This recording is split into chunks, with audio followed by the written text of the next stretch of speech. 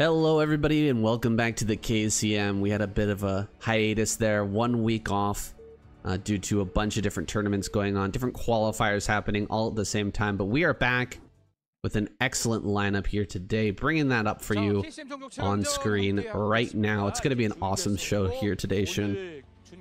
It's looking like it. Yeah, we even got Shine back in the lineup. Happy to see him get a bit of limelight. And the YC also making a return. Stork as well. Best, Snow, Queen, Jaedong, Saxry, all fantastic players. So. Yeah, these guys, a lot of them have made it into the SSL. That's the new ASL. They changed the name to the Superstar League uh, because the name of the company changed actually. But uh, they've all, or most of them have made it through. I won't spoil the results for you guys of that if you're thinking about checking out the qualifiers, but since they've made it through those qualifiers, they don't have anything to worry about here. They're just going to be completely focused on this uh, semi-final and trying to get into that final spot where Terran is waiting. Yeah, and uh, I imagine Protoss will have a much stronger showing in the semifinals than they did in previous weeks, so I'm pretty excited to see what they're going to be bringing out today. Oh, yeah, I'm very glad that uh, we had that little bit of a hiatus. We had that like a week break there.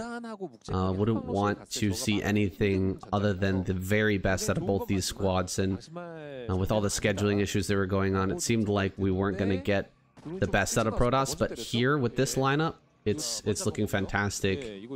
Um, I can go ahead and, and spoil you for this. Uh, uh, cover your ears if you don't want a qualifier spoiler, but Stork made it through into the SSL, and he did it over Mind, which was really an, an impressive game. So he is he is playing a lot better than maybe what we're uh, expecting. Uh, I watched that game; it was very well done. So looking forward to seeing what Stork can bring out. Uh, we're starting out here though with Saxry versus Best. Yeah, and uh, looks like Best are going to be on for a very quick Nexus here. I don't think Saxry's going to be punishing that. He's just gone for a hatchery first on location at the third. So uh, everything is looking like a bit, bit of an economic early game so far. Yeah, very heavy economy to start this one off. Saxry not going to send out a drone scout, just relying on this Overlord. Then that's great for Best. He's going to be able to cut so many corners here. It's a very long map. Um, I cannot remember. I think it's called Minstrel, this map. Kind of a wild map, so let's talk about that for a second. Yeah, I mean, what what's weird to me is that we've got a central basin in here, but there's two gases and two mineral fields there, so it's almost like two bases rolled into one. Very strange. I'm I'm not sure how I feel about the late game ZVP scenario on this. There's, there's also the natural third that's not on this high ground. Also, is like acts as a wall leading out into a new vector of attack later on once it's been mined. That does get the hatchery down there barely in time after that uh, pylon block. So luckily, Saxry not going to be slowed down in his efforts. There was a bit of a slowdown there with the pylon initially blocking that, but glad that he wasn't uh, continuously blocked there because where else would you put your hatchery? There's really no other choice here. Yeah, uh, for it's too awkward otherwise. Yeah, it's way too awkward. Um, you can see there's a base just down to the left of the natural. But that base has mineral patches which face outward towards the Protoss player, and you can just fire you know, Dragoon shots, phase disruptors, and storms right over that wall. So really not an optimal base. I, I really don't know what situation those bases are going to end up being taken. I can only imagine they'll be taken once the, the the map has already been secured beyond that with like, you know, lurker lines or what have you. Right. I, I really don't see that being taken early on in this game here, that's for sure. Yeah, I, in this matchup, seems like uh, the middle of the map and some of those other bases can come into play like really really late game if we end up getting there but it's uh, as with all experimental maps and any sort of new map that we add into the pool generally the games are going to be a lot shorter. We've got a Hydralisk Den on the way actually along with the lair. interesting he's not going to cancel that uh, lair and build the Hydra Den here. What do you think his uh, game plan is right now, Saxry? Well, he might be trying to hedge his bets a little bit. Uh, it might be like a, a fake 973 into like uh, a drop, a slow drop into the main base as a possibility, I guess. Like there's a few like technical things he could do. He could also just like go transition into a normal game after faking the 973 and just have a faster tech to work with. Uh, I don't necessarily think he has to do anything with this. It's just kind of like uh, hedging his bets while also kind of misrepresenting what he's actually trying to go for here. Well, let's see if he puts down a Spire or not, because that's going to be the real indicator as to what he's up to.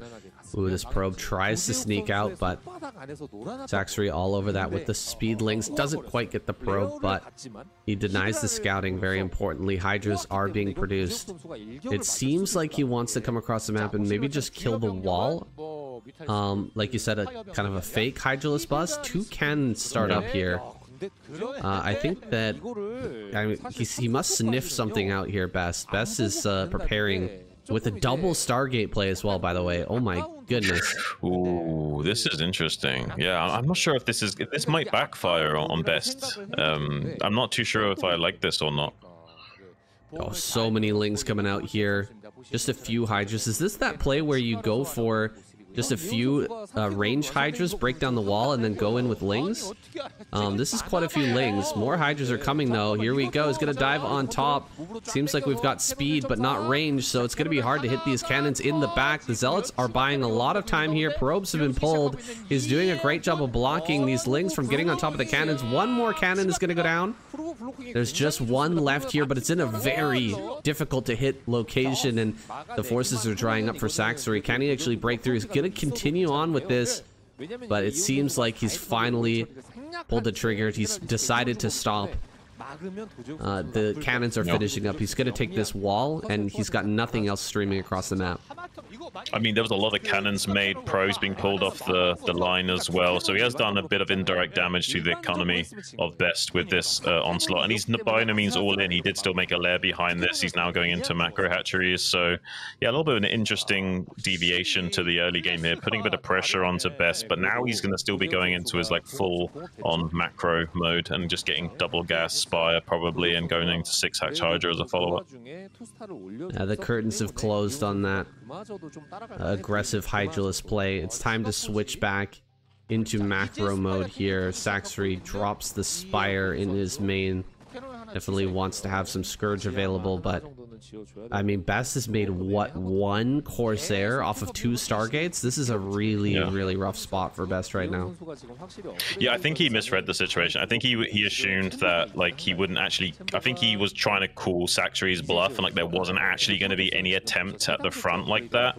And uh, now he's realizing, oh, uh, the is going to be late because he did commit into such a thing, and uh, now he's going to have to play a little bit of catch up. But he still might be able to get some value out of having these two star Stargates here. I'm, I'm not entirely sure uh, how this will play out later on, but with enough Zealots there, maybe he can get something going here. But I have a feeling that Saxory slowed him down enough with how many cannons were made that I don't think Saxory's going to be any danger anytime soon. Yeah, he killed a lot of probes as well, destroyed this wall. The double forge is up in the main, but those upgrades are pretty slow. And so Lings will help a lot in the defense against these Zealots. Saxory just up drones right now. He's got a small force of Hydra Ling to come out and challenge these Zealots. You can see the Zealots being slowed down quite a bit by those Lings and buying enough time for these Hydras just pick those off. Only two Zealots remain and Wow, switching into Mutalisk now. What? Wow. Oh god. Yeah. Well, this this actually could work out very well for Best. Yeah, I mean, now he actually probably will have a lot of value out of these double Stargates, and being able to produce two Sayers at a time will get him up to that six count very quickly and allow him to come back out onto the map once again. I think he's on like four right now. Uh, making two at a time, though, will not take him very long at all to get up to a decent amount of uh, Corsairs here to start threatening the air of uh, Saxory. But I don't think he's committing too much into Mutas here. I think this might be a little bit of a and Oh, does catch one of those Corsairs with that Periscope, but um, is being uh, intercepted intercepted right now by Best. Looks like Best wants to try and hunt these down, and we'll get a bit of a neutron flare chase on some of these Mutas. Only uh, uh, three or so might make it out alive here. Well, that was a great bait by Saxer. I mean, he didn't build too many Mutalisks in this flonk, and he's switching back now into Hydras. Uh, I was expecting him to be a little bit uh, more committed with the number of high or number of uh, mutas that were popping out there, but yeah, he's getting those that drone count up. He's sent the mutas all around the map, split them up so that they don't all die. We have Templar coming out now for best, but Saxory is pretty huge right now, and he's got a very nice defensive position. Lots of Hydras are going to start to spam out here in a moment as that critical like 45 drone count is met by Saxory. It will just start no. to have a massive, massive army being produced and likely to go into a fourth base. One nice thing about this map, fourth base, very easy to take up there in the top right hand corner. Yeah, we actually see like a DT kind of just hanging around there now to snipe any drone that's sent up there to try and get that base up and running. Uh, Best is well aware that it's a little bit of a sneaky fourth that Saxory can get up and going, and already getting quite a few lurkers out. He looks like he's just planning on turtling up for the time being, but I imagine he will want to take this fourth base, want to push out onto the map in the next minute or two because he knows that uh, Best is finally going to start to come online of what he can do in this game. Yeah, he's finally starting to come online with those Templar and Storms. Means he can contend with the Mass Hydra Queen's Nest on the way already, but no fourth base just yet one single lurker here. Just going to delay the third base from Best as long as he can, at least until he has an observer out. That's what that lurker's there to do. Uh, the DT up in the top right hand corner Maybe picked off here soon. I see a drone heading over there. Looks like that's going to get sniped. Uh, by the DT. But now that he's aware of it, he should be able to get rid of that DT and get this fourth base going. Very quick transition into Hive here from Saxory. I really like it, Xun. Yeah, I really like it as well. And uh, he still delayed the third base this entire time. It's only just now going down. He's already transitioning. He's actually getting the cancel on the third as well. He's slowing down Best way more than Best is slowing him down right now. Best is going to poke at the front here with some Zealots, but there's no way he's going to get anything done with this little small manlet squad, unfortunately. Um, Saxory's just kind of like dotting all the I's and crossing all the T's uh, kind of across the board right now, and it's going to very safely take this fourth base. I'm a little bit concerned for Best going forward now. Very interesting decision here from Saxory. He, instead of getting plus one attack for Hydras as you usually would, goes directly into plus one, plus one for the Ling upgrades, getting that armor and melee attack right off the bat. You can see the problems with this map already kind of showing through. A lot of Lings getting caught over there at that random base, that mineral base over there. Oh my gosh, he's going to catch some of these Templar. The storms are going to get killed. He gets one Templar. That's huge. Already picking off yep. one just for a few Lings. That is a great trade for Saxory. It's going to make it that much harder for him to hold on a little bit later. Well, absolutely. Not just have the fact that he's got less utility of less storms available, but always trading mineral units for gas units is always going to be a plus for you in almost every scenario. So nice to be able to secure that when you can. Just like Corsair's poking around the map right now, but I don't think Saxory's really weak anywhere. Like pretty much everywhere is reasonably well protected. So even if there was a shuttle with a Dark Templar in it or something. I don't think uh, Best would find any damage here. So it looks like Saxory's going to go full on macro mode, which is when he's at his best, uh, no pun intended. So a little bit worried for Best in this game. I don't know how he's going to navigate it. I'm wondering if he'll take this as his fourth base, this weird base that's kind of poking outwards. He'll take that as his fourth and, or, and stay attacking on this northern vector. Uh, I'm not entirely sure where's the best place to take a fourth as his pros here. Maybe 12 o'clock? Um, although it's pretty far away from your third. The the regular uh, place to take the fourth down in the bottom left might be a little bit more convenient to defend. Some Sunkens are coming up here, but I think that Saxory is not aware of this army making its way up here already. He doesn't have reinforcements coming. He has two Scourge though, and the Scourge are going to connect. One does pick off an Observer. If he can snipe this one more Observer, he can absolutely hold this. But actually, Best is put it, pushing forward further and further. Reinforcements are going to come up. They're going to get stormed. Best backs away after trading out some of that energy for a few lurkers. A pretty good trade there, but he's not able to break the base. Yeah, it just goes to show that a defended expansion is worth more than like two or three undefended expansions. There was like any less um, units up there, like Best could have just walked up and stormed all the drones for free. So like at least Saxory's got like the bare minimal defense at each of these locations to prevent Best just coming in and bowling him over. So I'm pretty impressed with Saxory's play. It is going to be that pocket expansion in the bottom left corner as his fourth probably is the safest choice to take, but there is an easy attack vector here, which Saxory is already on top of exploiting. Some Zerglings making the way. There is a few Zealots to ward that away, though. 2-2 upgrades already on those as well. So, so far so good for Best. He's probably going to get this expansion up uncontested. He's got more and more units coming down here to prevent this swell of uh, Zerglings from getting too much done. Well, he just spotted that shuttle. It's a pretty big uh, scout there for Saxory, knowing that the shuttle is out on the map, is going to uh, alert him to the fact that maybe storm drops and maybe DT drops going to be a factor here uh, very soon, and he can get some uh, Scourge out to potentially snipe that or defend his bases. A Defiler is now out. Crackling is done. 2-2 is already done here. at 15 minutes. This is an incredibly strong army. Like, the Lurkers are not going to be hitting that hard, but these Lings are going to rip through everything, especially once we start to see Plagues.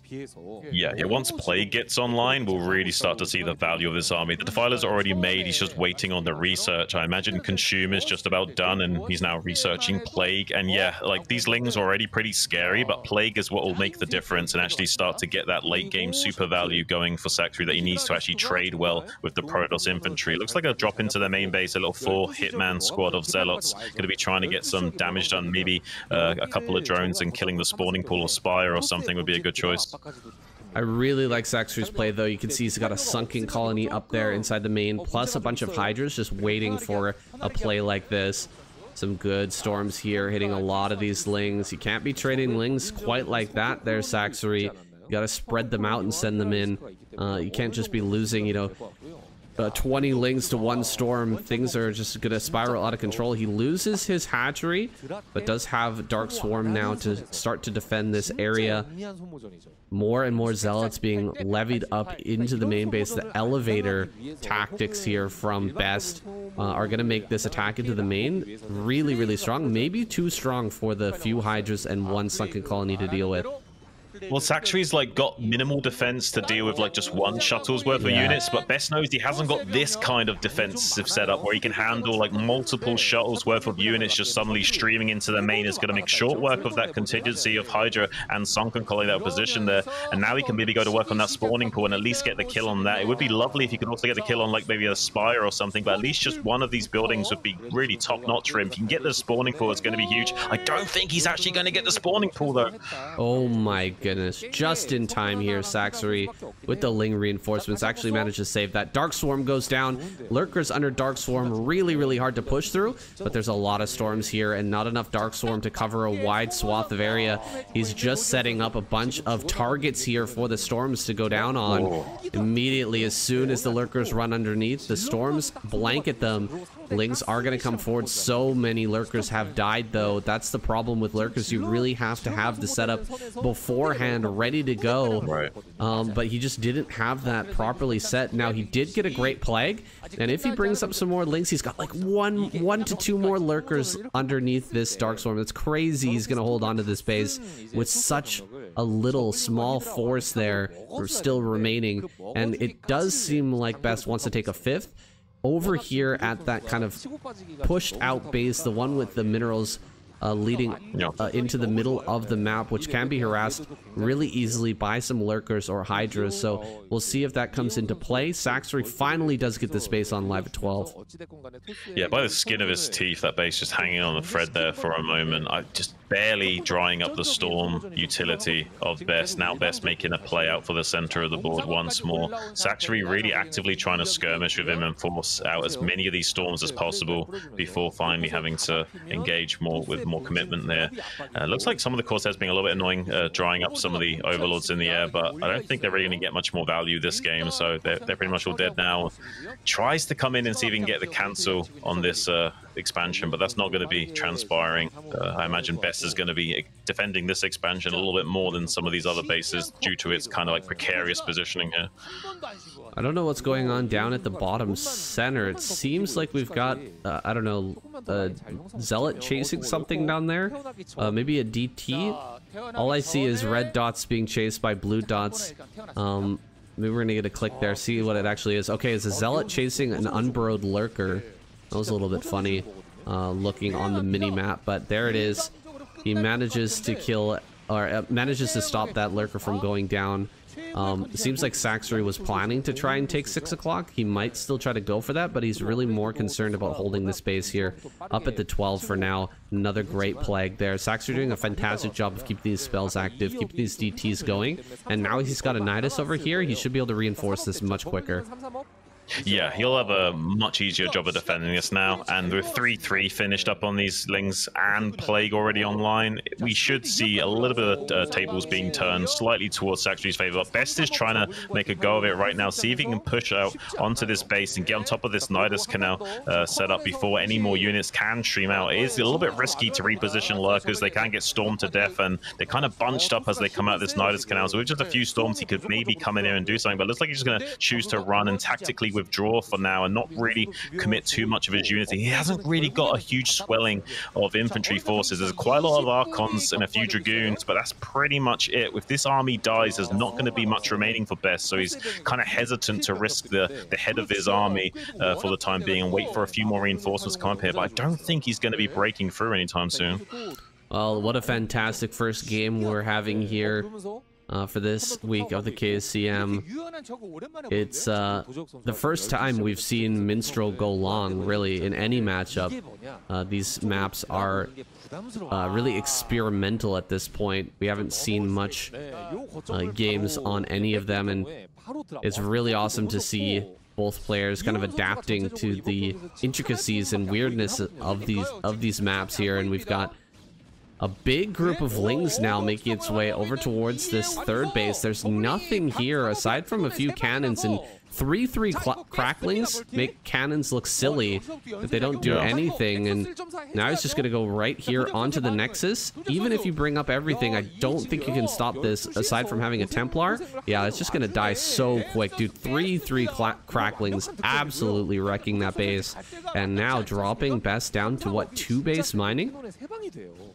Yeah, I mean, that's really uh, low production value for Bestie, and Saxory's kind of still sitting pretty on about four base worth of economy until his main and natural become mined out. He's kind of mineral smoothed out of his main and just left a few minerals there, so he's already kind of optimizing his mineral smoothing as much as possible going forward. I imagine now he'll want to start taking a few of these other uh, inside bases. Yeah, he's already taken this like inside natural third to the northeast quadrant of the map already. I think these are the kind of bases he needs to start securing now that he's got this 12 o'clock really heavily fortified. It looks like Best is going to try and come back in here, but I don't think this is very wise. Like, this is a even more fortified position than before now, and Best is kind of assaulting it with a similar force, uh, so this is definitely going to be going more Saxory favored at this engagement.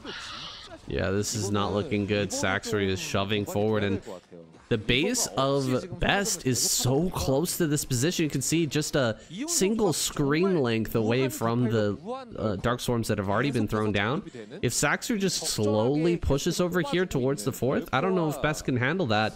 Best may have to uh, switch into going, you know, more southward, try to take a base uh, down at the bottom side of the map and just give up this area. He is sending some DTs and Zealots over uh, to the brand new, what, sixth base? of Saxory, which is just getting some uh, mining online.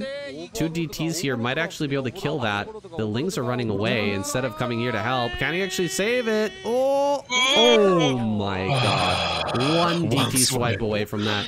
A drop coming down here on the fourth base. This is, our fifth base, excuse me. This is a beautiful drop. Getting lurkers right on top of everything. The storm, or the dark swarms come down. A few storms going to answer. It doesn't look like the uh, actual Nexus will go down, but I think quite a few probes were lost. And uh, this is this is just some good harassment tactic from Saxory, and it will allow him to get some more plagues going as well. With all the reinforcements coming up here, he's just looking for the perfect plague. Where is it? Nope, not going to get it there. The beam of the Archon just smashing that down. This is absolutely fantastic play from Saxory. He's getting so much done with so few units here, and he's really like drained the resources that Beth is available. He's trying to shove to get the kill on this hatchery, but it's acting as a bit of a bait. Now his army is a little bit out of position, trying to quickly run, but some of these High Templars cannot get away. They're very slow, so they will be picked off by those Zerglings in short order. And now Saxory able to shove his way towards this new base that's been taken. Beautiful plague on that whole row of zealots there. This is looking really rough for Beth. Best uh, the, the, the, the, further on in this game that we go, the more I'm seeing it as a Saxory victory here. Yeah, Best has played a really good game. uh, from kind of a desperate situation, but Saxry really hit his stride uh, as we got into that late game. He was able to go into Hive so quickly and just completely forego his uh, Hydralisk upgrades. He has added on plus two attack for those spines now, but he's just been able to focus completely on Zerglings right up until this point. The Lurkers have just been kind of like a, a stopgap for the Lings to, to get in on top of these different bases. Now we do have drops coming through. Storm should be available. Nice snipe there on the hatchery. I almost forgot how low that was, but it only took about no. Two to three hits from a single zealot to pick it off. Too good to uh, pass up there. The opportunity and a great storm here over at 12 o'clock best. Gonna ravage the economy of Saxery. Now, it's not the biggest deal in the world. We do have of course, so many hatcheries around the map and a lot of money to work with. He can remake those drones very, very quickly. But if Best is able to chain this, if he's able to keep on killing drones uh, and, you know, stop Saxery from rebuilding, he might be able to channel this into a winning position, but it's looking desperate. That shuttle goes down, and now he doesn't have anything to harass anymore. He'll have to build another one if he wants to try and make that happen. Yeah, that's what's so precarious about taking these base positions is they're good, but only if you have map control. And unfortunately, once you lose map control, now it's just so easy for your opponent to apply pressure to your ability to mine there. And uh, now this base is just going down the drain. He's not been able to mine here for some time, and a lot of resources have been invested in trying to secure this. So the fact that he's lost so much to secure it and has still been unable to mine from it, I think this might be a bit of a, uh, an untenable position for him to try and overcome. It looks like he's trying to make a little bit of a counterattack gambit, maybe thinking he can kind of come around, sneak around the backside here of the Zerg, and maybe try and cut off the production line where the rally point is, and uh, maybe force a little bit of a repositioning of the Zerg army. It's not a bad idea, but I think Saxery has so many units pouring out of those hatcheries. You should be able to reinforce. Great storm there. The Reavers just decimating everything, trying to get through this tiny, tiny little choke. We've got just that one tiny gap to shove everything through. I don't know if this is a great idea for Saxery. He's really starting to feed into Best with 28 kills on that Reaver. I think he needs to start to change his game plan, take another attack path, you know, deny, denying these mineral patches is great. Not allowing Best to mine here is fantastic. But we need to find another avenue of attack if we want to actually make any progress. Yeah, it looks like um, Saxery just barely not going to be intercepting this uh, shuttle that's going to be able to tuck its way into the northeast quadrant yet again and get a lot of storm kills on these precious drones. And the further damage to Saxery might start to add up and he may start to gas out a little bit. But there's a big Zerg contingency attacking from the northern flank on this base in the north here. And I don't think there's... With these three Reavers, I feel like Best might be able to hold on to this expansion because of how bottlenecked all these units are on the east. So I think he's he's going to hold this expansion, but I think he's going to be denied mining gas here, and I think that's going to be a big problem. Yeah, the denial on the gas is huge, but look at how little minerals are coming in for Saxery right now. He's got that one base in the top right-hand corner. He's starting to add a few more drones on to 12 o'clock and that uh, base kind of in the middle of the map, but uh, he's he's really hurting for minerals. He's down to just a hundred supply. He's having a hard time breaking this base, and the amount of units he's actually thrown at this is is kind of disgusting. He's thrown so much army at the wall here. Is Saxery going to throw this game now? I felt like he was in such a good position for a long time. Yeah, I felt so too, but uh, we might actually see something like that here. I don't know exactly how much he's got left in the tank. It looks like he's got pretty good saturation on those three bases, but I guess that top right, might, if he keeps killing the drones like this, maybe there'll be enough of a, a, dryness to the wells of Saxery that eventually Best can kind of out-trade him with these like 10 plus uh, skirmishes. And if he can, um, right now the plagues aren't really going to be getting much value because it's mostly just Archon and Zealots that already plagued anyway anyway. So if he can just keep storming away uh, to his heart's content, maybe Best can slowly start to edge this game back into his favor once more. Nobody's attempted to take either the center of the map or the bottom center, and uh, that's a little bit confusing to me. I thought we would see uh, one of these players go for that area. It's as defendable as the 12 o'clock. Of course, Saxery is holding that area, uh, just trying to keep his drone saturation on line. I think we got another drop over there at the base in the center. Oh man, we're not going to get it on screen, unfortunately. It did kill a huge amount of drones once again. Scourge are finally out to chase that, but Saxory has been slowed down a lot here. Still Yeah. about 100 supply, and that shuttle does go down. So removing the thorn in the paw here of Saxory, but how much damage has it really done? I mean, before Saxory was like only like 20 supply behind. Now he's like 70 supply behind. So it does seem like the the edge is finally starting to look like it's back in best favor once more. But he's still not mining much over here. So without him, take, yeah. Uh, this is kind of crazy that he's a, he's able to still be in this game. It's purely based on just how well the trades have gone with those few critical units. They're in such phenomenal positions and they're almost impossible to break. It's only two hit points on this Cerever as well. Die very quickly, like right now. Does go down, but pushing through here again. This is crazy, Saxory. I just I feel like taking the middle of the map might have been better a better choice. Maybe trying to take bottom center would have been a better choice. I just I can't imagine sh trying to shove my entire army like trying to push through a natural is hard enough, but trying to push through Right. this tiny little gap between the minerals and the walls here at this base with three reavers sitting there, we're just gonna run lurkers in. I mean, we're not denying too many uh, probes, we're not killing too many probes, and these reavers are getting such insane value. Like you said, the supply differential tells the story. 50 supply ahead right now is best, and eventually he's going to put together an army where he could just walk across the map and kill Saxory in the natural. I just, I don't think there's enough uh, stuff over there anymore. Where are all the drones, by the way, too? Over here at this base, there's hardly anything. Well, yeah, he's not continued to grow at all. Whereas now Best is finally getting this base online in the southern region, so he can just mine there instead, which is a much easier base to secure for him at this present time because there's a way more map control available to him on this southern threshold of the map. Um, so he doesn't really need to mine at this base anymore. So Saxory's kind of invested a lot for nothing if he can get um, some probes over there and start mining soon because he's going to start racing ahead in the economic curve of this game. Yeah, I, I feel like Saxory played the map really, really well up until this this stage uh, of trying to shove through this area and try to take down this base. Had he instead moved to the middle of the map and taken that central area, he could cover the the one ramp that's leading into the middle and probably have taken that and held it pretty well. He's gonna run right up here on top of these reavers, but the storms just blanket everything. Uh, a massive amount of supply was just wasted there by Saxory. He's going to try and dive on top of this Reaver. He does get the Reaver, but now there's enough Archon Zealot to just deal with everything that's coming forward here from. Saxory going to go ahead and burrow on the other side of these mineral patches. He will be able to deny this uh, base from mining, I guess.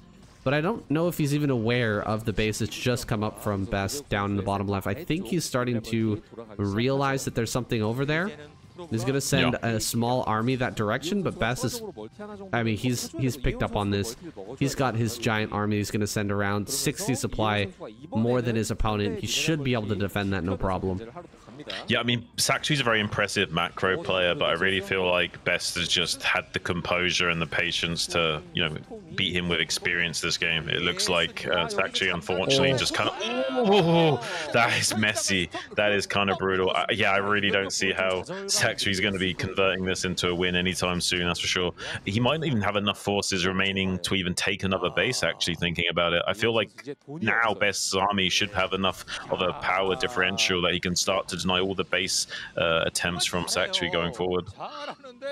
Some cute play here from Saxory with the one lurker. He's trying his hardest to get some kills on a few of these probes. Oh, even casting an extra storm there just to kill that. Saxory, I mean, he's out of options right now. He's got almost no minerals left. This one base here is the the only one that actually has um, reasonable amounts of minerals to still continue mining. Saxery I I, I want to say it again, man. It's just he had a great game plan. He had a great early game and mid game, but once he got to this uh, position here on this map, I, I really feel like the, this is a map loss for Saxory more than anything. He pushed through this one area of Minstrel that was just so cost efficient for his opponent. It just didn't make sense, and he just wasn't willing to change his game plan. He's just way too tunnel vision on his original game plan and had no desire in being flexible with the uh, behavior tree afterwards. But he is going to be killing this Nexus finally with like one or two Hydras that are remaining alive. So I guess he gets a, a one little hoorah, a bit of a moral victory, even if he can't close out the game. There's not a lot down here at this base, but I don't think these Lings will be successful in killing this Nexus because one good storm should clear up most of those. And uh, with the Archon and Zealots uh, to the south, there's no way uh, Sanctuary's going to be able to crack this base anytime soon. Oof, that's so many Archons. My god, the trail Yeah. of Archons coming down the map is insane. That's got to be at least 15 Archons there. And it's a lot. Yeah, Saxory, I mean, what are the tools that he has to actually deal with that? That's a problem with late game uh, ZVP is that you need like a mass number of Hydras uh, unhindered by storms to just gun down those Archons. And definitely we're gonna have storm. We're definitely gonna have storm. We're likely to have reaver as well in any fight that he takes. lings and lurkers are just not gonna cut it against this number of archons Yeah, and he's made no attempts to grow either. He's just trying to get uh, the game closed out with what he's got available to him. I don't think he realizes just how different the supplies and resources gathered are at this point. I think he's kind of lost his place in the game state somewhere along the line and thought he was a bit more ahead than he was when he was trying to assault that base earlier. And uh, he's going to make a few desperate plays here, see if he can get anything done. But because the ar- the army's so heavy uh, in Archon right now, like Plague is kind of like not going to have anywhere near as much value as it would before. So just Dark Swarms, Lurkers, and Lings are going to be his only hope. And Best Army still trades pretty good against that. So it's not looking too pretty for Saxory right now.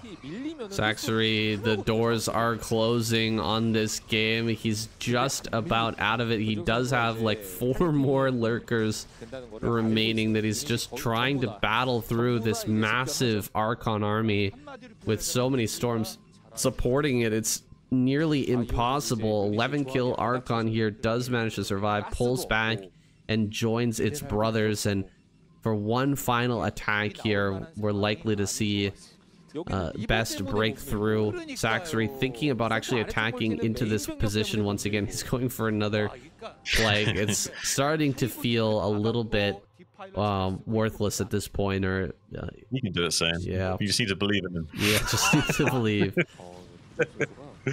70th time's the charm. well, here we go.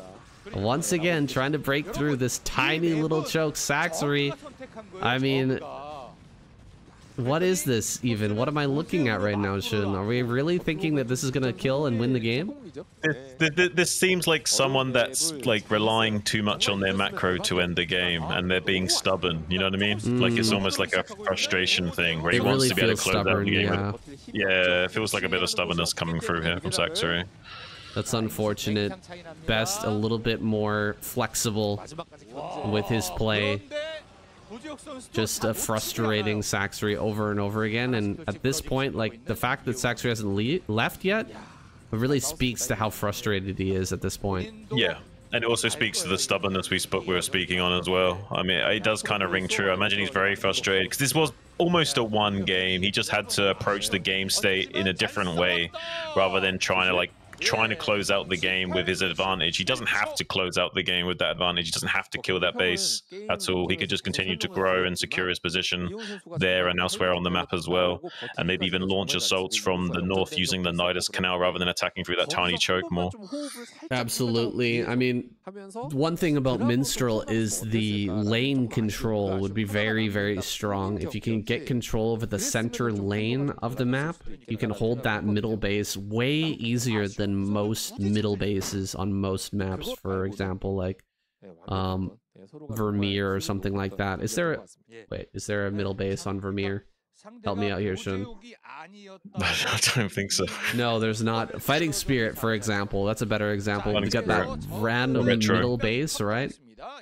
It's very hard to hold because there's so much empty space uh, out there in the middle of the map, but this is a very different map. Minstrel, a completely new map in the pool. We're going to be jumping into our next game here. Best going to move forward as Saxory gets eliminated. All right, Saxory is gone, and we're jumping into our next map. This is a copy, I guess, of Gladiator or a, a remake of Gladiator. What's the name of the map, Xun? Colosseum? Colosseum, that's right. And what's the name of this map? Yeah, I'm bad at names of things. Uh, kickback? Kickback. That's the one. So we've seen only TVP on this map thus far, but this is going to be our first ZVP here. I'm really interested to see what Shine wants to pull out. Whenever I, as a Zerg player, see a new map, I'm instantly interested in what Shine has to say about it. Like, what is he going to do on this map? Because he is that guy. He's the one who is going to lead the Zerg race uh, in terms of creativity on any certain map. Yeah, I mean, if, if his style of play could be categorized, it'd probably be the bag of build style of play, where he's like literally could do like 50 to 100 different things and, know how to do them all at a pro gamer level. Also playing at a standard level, a pro gamer uh, caliber as well. So very scary player indeed, and also the the observer that you see controlling the camera and making sure you see all the hot intense action like the ASL and what have you. So definitely has like game sense of a god, but not quite the execution of a god. So hopefully we can see him in his A game today. Yeah, hopefully we see an excellent game here out of Shine. Uh, he pulled out a very uh, standard style in his qualifying games for the SSL. Uh, nothing surprising there. He's been focusing on improving his standard play a lot, but if anything gets weird, Shine is crazy good at knowing exactly how to punish it. If, like, for example, Best wants to cheese him here, uh, I have full confidence in Shine being able to unravel that cheese and, you know, bake it, put it into a pie, and, and make it his own dish. Yeah. Uh, if Best tries to drag Shine down, Shine will probably beat him with experience even at that lower level, because Shine is very good at low economy, weird, chaotic situations as well. Absolutely, and we've got a second base up here. Shine is going to be looking to take that third in just a moment, but he knows the probe uh, is ready. Oh, he sends it down to bottom right. Interesting. Interesting. Wow. This is going to be not what I expected at all from this game, but you know, it's looking like a two hatch style. I doubt that Best is going to be like, oh yeah, he definitely took a base down bottom right, right? He's probably going to be thinking, what the hell is Shine doing? He's doing like two base build right now? yeah, I mean, you kind of want to be on your, your tippy toes when you're playing against someone of Shine's caliber. You're trying to sneak the probe scout into the main base. Now, maybe let's confirm that two lings are in hot pursuit, though. So needs to be micro. There's not four lings, though. If there was four lings, I imagine Best would be really suspicious if uh, he was trying to kill the probe right away. But the fact that he's just chasing with two, I guess, will make him feel a little bit more comfortable. He does see the lair timing seems to be somewhat standard, more towards a three hatch spire. So he might be able to sniff this out that it's not a two hatch build, but it's not for certain. Yeah, nothing is certain here for Best. He's going to continue to scout this main. He's just about lost this probe, though. One more hit. There it is. He does pick that off. And so the uh, viewing of the main base, the scouting information has been removed here. Best playing in the dark. Shine. I mean, he knows best inside and out. He's probably expecting just the standard build, and he would be right in that expectation. The probe's gonna be sent up. I guess he's gonna go check the top left first to go see if there's a base over there. But looks like Best is um is starting to figure things out. He's at least checking to see if there's a base out there. Yeah, hopefully Best can shine a light on the, Zerg shenanigans here while he's in the darkness. It is very precious and important for any scouting information in the early game as Protoss, because until you have those Corsairs online, you're pretty much in the dark, and the Zerg could be doing such a wide range of things that you're kind of forced to um, like hedge your bets as Protoss, and you can't really min-max. But it's going to be a second Stargate. What what balls of steel out of Best doing this build twice in a row? Uh, he seems like he's liking this style more recently. That's wild. I am shocked to see that, but if you think about uh, Shine doing a two base build, it kind of makes sense, right? If he's going two base, he's probably going to be going for a Spire, and that means a lot of mutas are going to be coming. He catches the probe on the way down to the bottom right, preventing it from scouting the bottom right uh, base, but that might actually just, you know, give the information directly to Best, like, oh, why are you keeping Lings down there? You must have a base in that corner location, but uh, he can't confirm just yet. He's actually checking around. He just checked center left with his Corsair Xun. He's like, yeah, I mean... he's really worried about where that base is. I mean, maybe just looking for Overlord.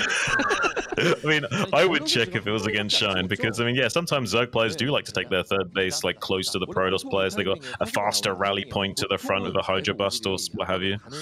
Yeah, that would be a wild play back at home. Shine is actually just getting into some sort of crazy macro position with an extra hatchery here at the front and a Hydralisk Den. Is he going to totally wall this off and try to just set up a really strong outpost in the bottom right? It's kind of what it's looking like at the moment.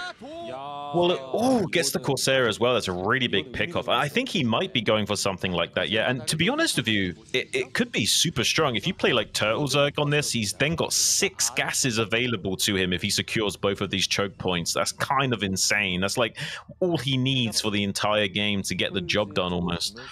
Right. Well, He's setting up a nice position here at the bottom right, but I just noticed this, Xun. Oh, he sees the double Stargate. That's huge. Getting that scout is massive. These Corsairs are going to make their way down to the bottom right. I just noticed that, uh, you know, if you spawn in a location as a Zerg player, that uh, creep colony, the neutral creep or the neutral sunken will uh, build creep. Um, but if you start another base down in the bottom right hand corner like Shine's done, uh, yeah. that the creep colony won't do anything, or the neutral sunken colony actually won't do anything. That's kind of interesting. Yeah, I think it's based on starting location only, unfortunately. Um, but I do think that's balanced as well. I do kind of like it. I think that that's fair. I think that Zerg players should be forced to fortify it um, more manually here with building a hatchery. I don't think they should be able to get like six bases for free too easy here. Yeah, that makes sense couple of overlords end up going down here in Shine Space, but he did pick off a Corsair with a pair of Scourge, which is a nice trade. Uh, down in the bottom right, he has a Spore Colony online. Still, Best is not scouted that, right? Did he go down there first? Or did he just, is he just going to see it now? Uh, no, I think he saw it earlier. Okay, so he comes down here, he kills an overlord. He's gonna fly on out now. Seeing that base, seeing the entire setup there. Uh, I think the spore colony is a great idea right now for Shine. One single DT on the map could actually do him a lot of damage, but with the spore, yeah. it really removes that as a possibility. And Shine just gonna macro up like a beast here while Best takes his third base inside of his main. This is gonna get kind of crazy here if Shine like goes right up to Hive and does the same sort of thing as Saxory did in the last game. I, I, think he might, and it does make sense with how far away the bases are. The one thing you need to kind of bring this all together is a Nydus Canal. So I would love to see him rush right into Hive and start to abuse that, because Nydus Canal on this map with access to six gas so easily defended on two choke points, that's very easily exploitable here for Shine. And he, it looks like he is setting himself up for that kind of play. A lot of gas has been spent into these Corsairs. They haven't done a whole lot of damage thus far. And the Zealot count, the ground army count of uh, Best is very small. He's building a bunch of cannons here just to be safe. If Shine comes over here, he needs something to help him defend in the natural, and He's actually adding on a bunch of cannons right now. Shine is forcing out so much defense, and he can just turn around and go into a hive play from this spot. He doesn't have Right. to try and bust here. Yeah, th this is actually kind of crazy. He's he's doing so much indirect damage without really committing anything. And if he does get the cancel on this upgrade from finishing, that's going to be pretty big. And uh, with how deep the cannon line is, the only thing that he, the only way he could stop this from grade from being uh, cancelled is if he was manually storming. It looks like he's just going to um, cancel that manually and just uh, suck it up here. It's a bit of a tough nut swallow here for Best going forward, honestly. But he does have those three bases churning away, so he's got a, a, a- still got a bit of a powerful macro engine to work with. He's just a bit behind the tech curve of the game, so it's going to take him a few more minutes before he really starts to come online, has any chance of coming out here. Yeah, gonna come in, try to harass a little bit, but you can see Shine Supply is blossoming here with the drones that he's added on and the number of bases he's got. He can spread those drones out to get maximum efficiency. More hatcheries will be coming down here shortly, I assure you as well. Looks like he's about to take uh, the base over at bottom right, that uh, like high ground location there. He just grabbed it. Fifth base online, or not online, but coming up here at 10 minute 30, Xun. Crazy fast expanding from Shine, and maybe what you were talking about earlier possibly coming true. Like, are we just going to see huge macro games on this map? Uh, because it, it really is leaning in that direction. Maybe it's just Shine, but I think with cross map spawns, especially because you don't have a clear vector to like do any like drop shenanigans or like uh, early air raids or what have you. So I think with cross map positions, it kind of does seem like it does lean towards this. I know he's killing so many of these Corsairs with just pure Hydra. It's kind of insane. I don't know how Ooh. everything is just going wrong for Best. He's currently behind in supply by almost 20. It's kind of wild to think about. I, I, I, I hate to call games early, but this is really starting to look like if if Shine doesn't throw this, I can't see Best winning at the moment. so many Hydras coming out here. Does he have the Hive is what I'm wondering, because he could just set up without Hive a huge contain and try to uh, starve out best. One thing to mention about the bases on high ground here inside the main, um, those two bases, al- although you do get really quick three bases, the mineral, uh, I'm pretty sure the minerals are lower, but definitely the gases are lower. They're going to mine out a lot faster, so it's really an important factor here when it comes to a mine out situation. Diving forward, going to snipe some of these Templar. Really good storms here, though annihilating a huge chunk of Hydras, but there's way more behind this. So many Hydras coming forward. Can Best even hang on against this? Well, he's definitely not going to be able to push out, that's for sure. I guess he can hang on with the cannons here at the back and Storms to defend. That high ground cannon pretty annoying as well.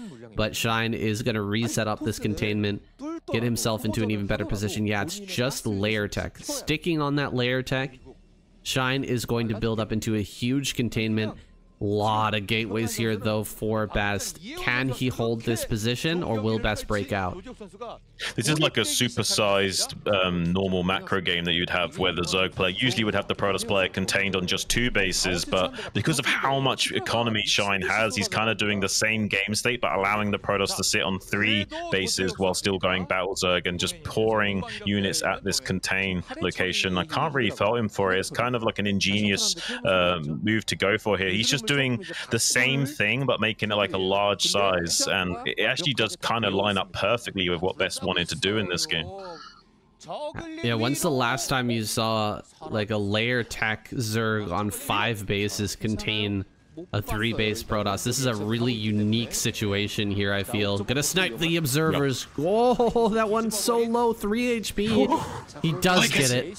He does get it. Drop coming in here towards this base. I thought that Shine might have seen that, but maybe his eyes were elsewhere for that one second, and now Shine Gonna have to deal with this four zealot drop. Some hydras should be coming out here in a moment. The rallies could deal with this, but maybe the hatchery will go down first.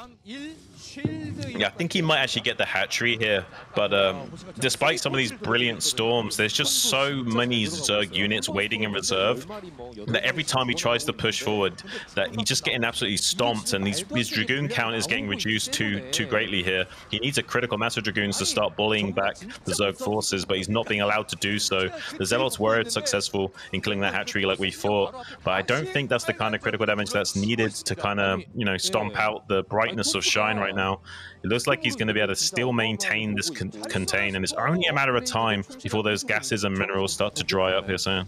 Yeah, it's going to happen faster than usual. Uh, these bases of best on those high grounds are going to eventually run out.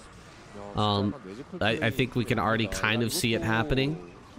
Uh, if we get a mineral check over at the the natural base, the second base, uh, I imagine those are going to start to be getting low here. Everything's dried up for best. He's going to be forced back here. Pure Hydra versus Pure Dragoon. Never a great fight for those Protoss units. Looks like he's going to keep on pushing out here. He's desperate to make this work, but I think Shine with just a few more units coming up and the number of lurkers that he's got at the front should be able to keep this contained. He's actually even going to push it further forward, further tightening the noose around Best's neck.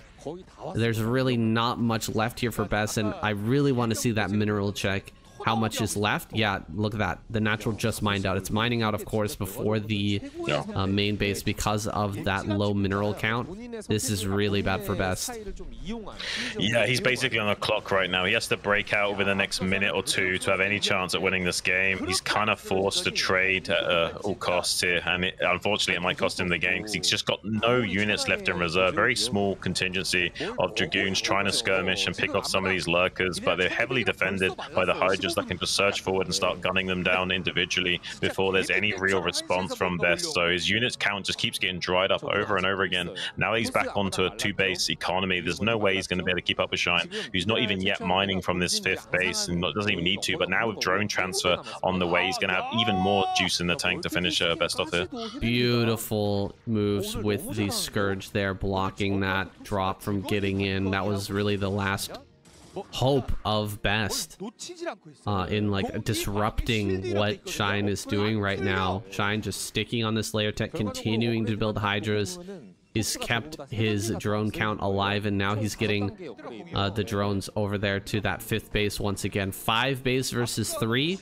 Shine is completely uh, out playing best in this game. What can best even do? I mean, look at how quickly his gases have mined out. His main is still mining gas, but his natural right. is gone, and his third is going to mine out very quickly as well. I mean, at this point, I'm kind of wondering if maybe best to try to sneak out a shuttle with and put up like a ninja nexus at this like top left natural expansion or something, and try to sneak a fourth base while trying to push out maybe get a base going that way. It looks like uh, it, the, this is not going to work, though. He's just drying up his infantry force over and over again until it's in a much more manageable state.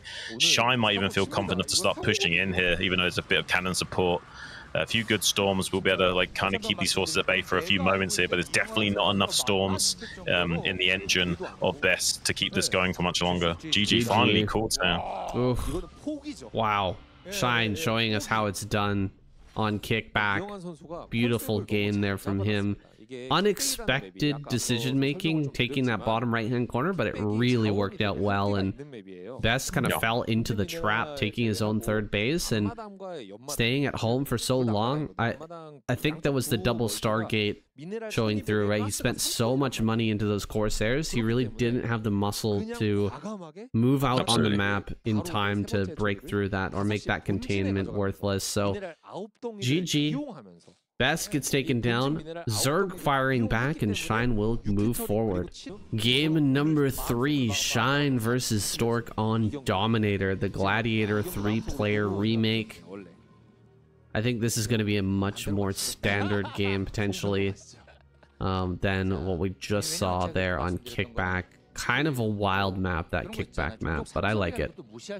Yeah, yeah, it's interesting. I would like to see if um, players will come out of um, ways of combating the cross-map spawn situation. Because I feel like there's like a lot of shenanigans that can be done early game with the vertical horizontal spawns. But when it's cross-map like that, it does seem to be like both players are relegated to going into an early three base.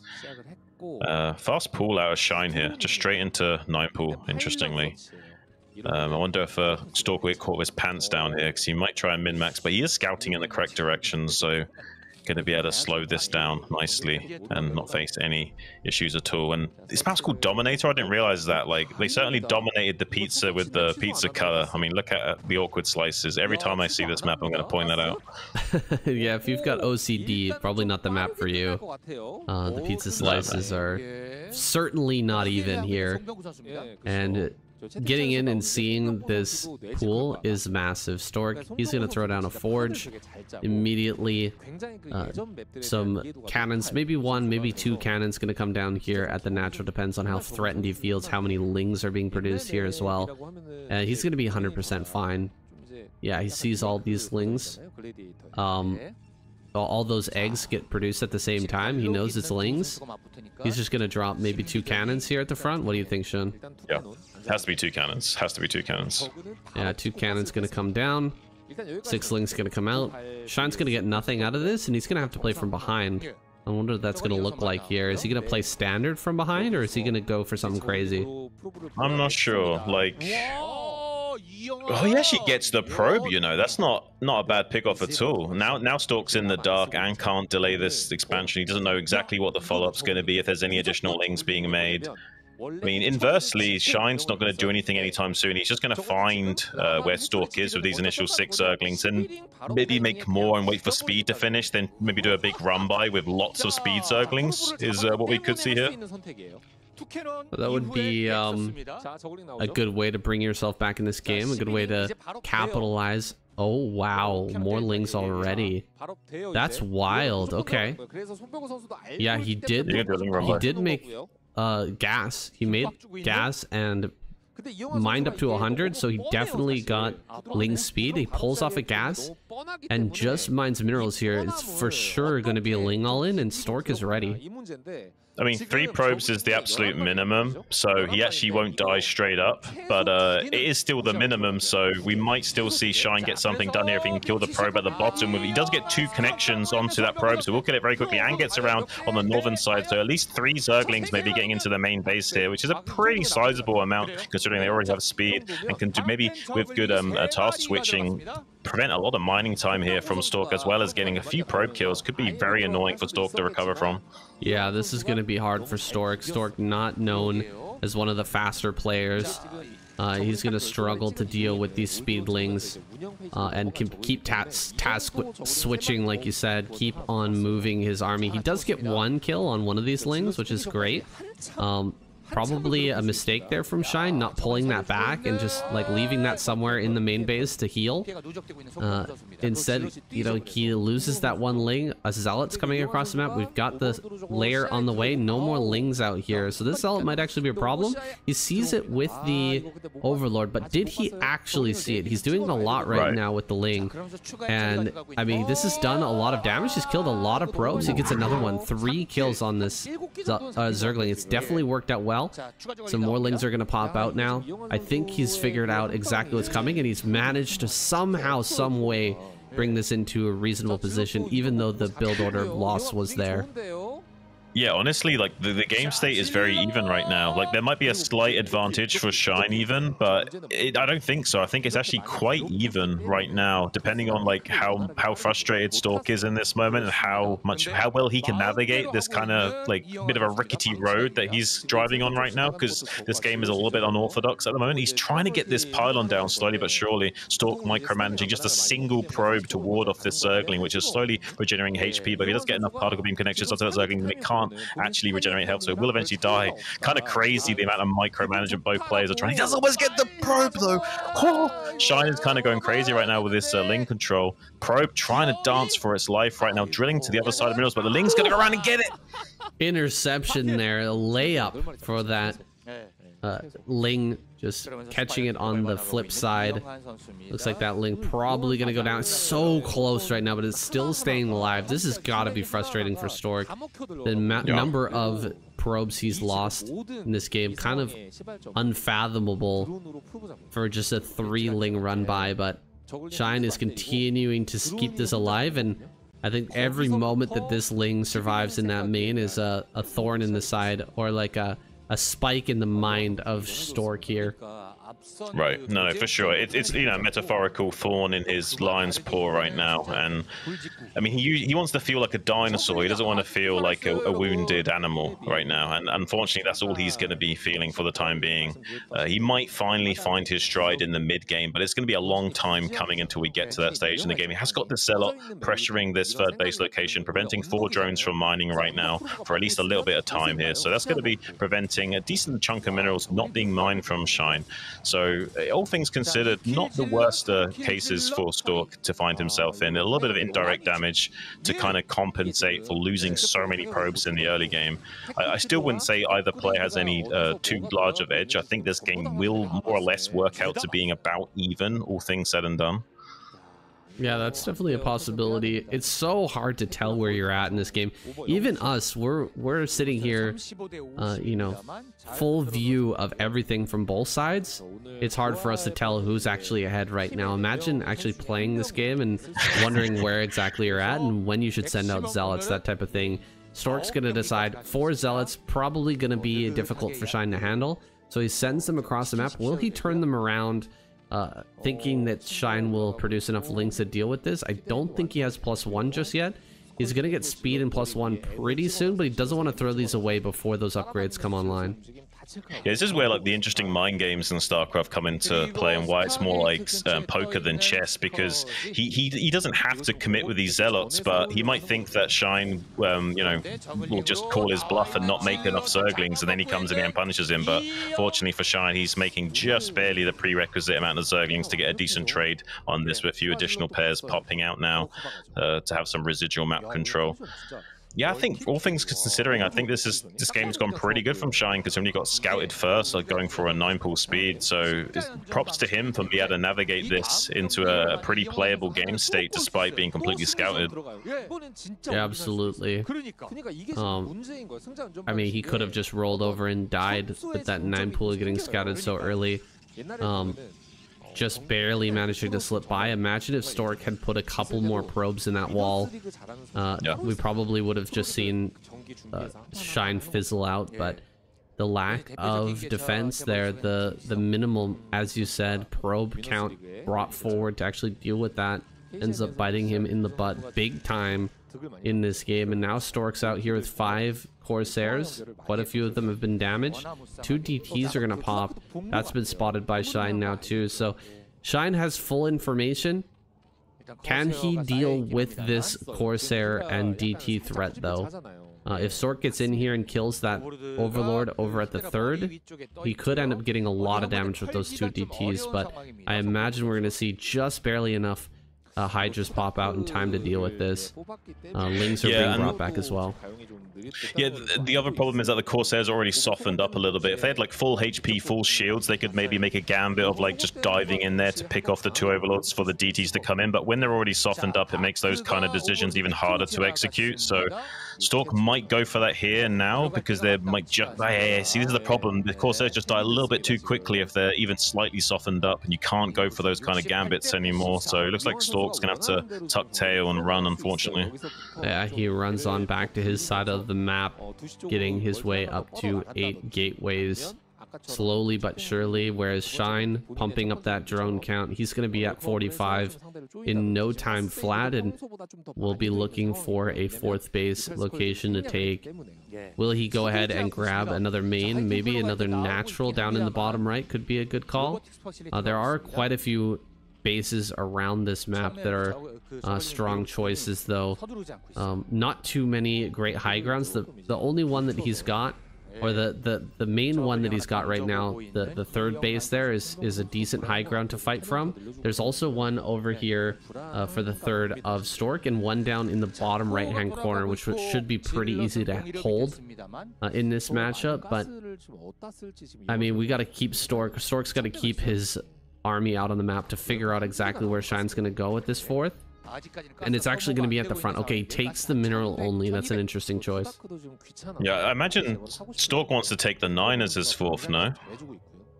The nine o'clock, yes. The the high ground there at nine. Yeah. Yeah, he's going to go ahead and take that here pretty soon. That's a high ground. And then there's one down in bottom right as well.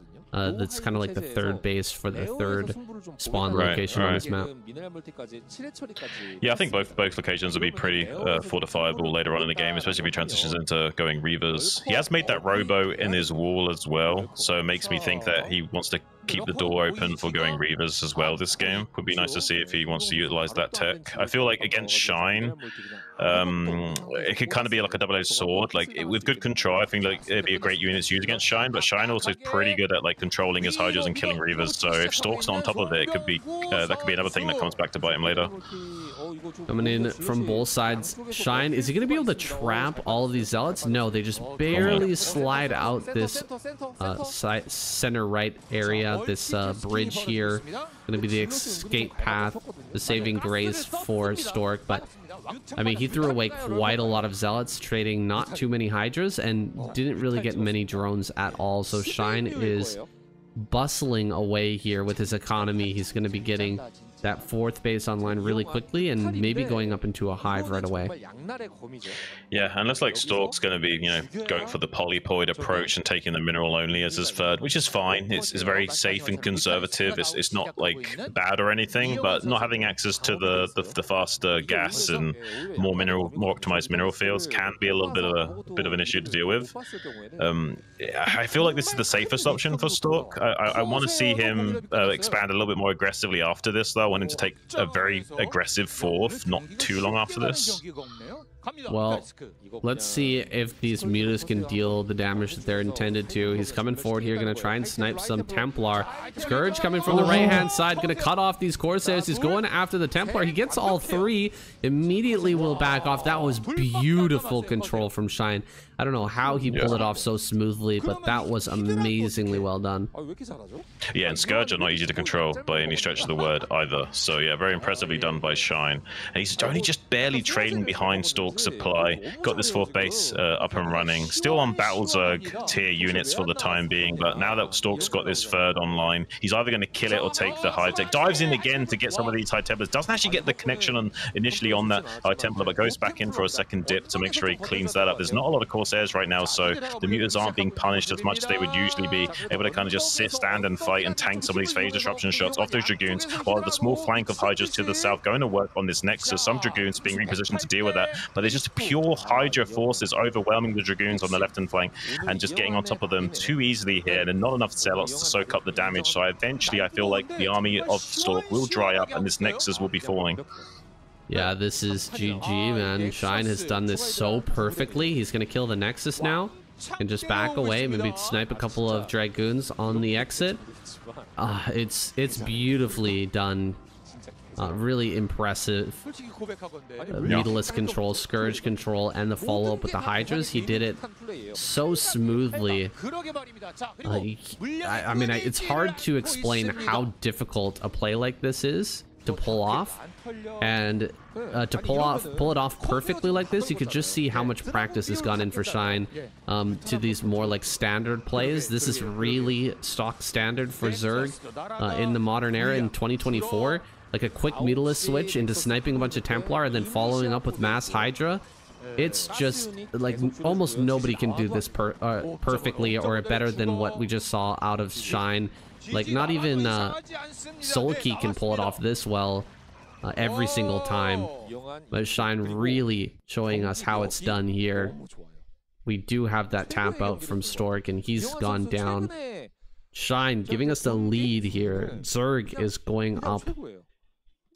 We've only got Snow and YSC in the back pocket.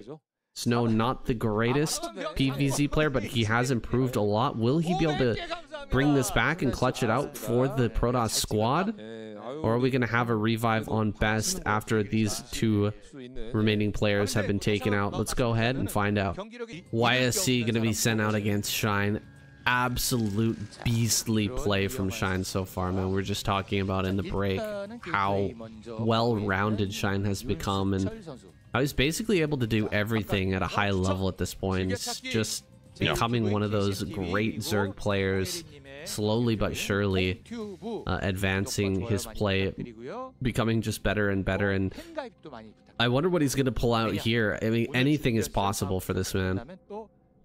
Yeah, it, it's not just that he's he's good at doing cheeses; it's that he's good at doing cheeses into standard play. He's good at just doing straight up standard play. He's good at pretty much doing just anything under the sun. Looks like YSC is going to try and sell uh, a bit of a fake cannon rush here to Shine and hope he bites the bullet. But I don't think Shine's going to bite. I think he'll just chase this with one probe and with one drone and just kind of like you know smirk at him a little bit. And this is what's interesting about StarCraft is it, it is all about what you're representing. You understand if at the highest caliber of play, you understand the possible ranges of what you could have so that you know what you can represent and what your opponent could have or what he could represent. And there's, there's a lot of mind games and juxtaposition in the early stages to try and like fool your opponent into representing something you're, you're actually not doing. And just the threat of that alone is enough to kind of control the game state. And it's interesting to see how someone like Shine has like all the bags of tricks to work with and he's seen so many games, he's got so much game knowledge to work with. And sometimes he comes up with these really creative solutions to the early game shenanigans. Yeah, you can just see YSC not able to fool Shine at all in this game so far. We've got another new map here.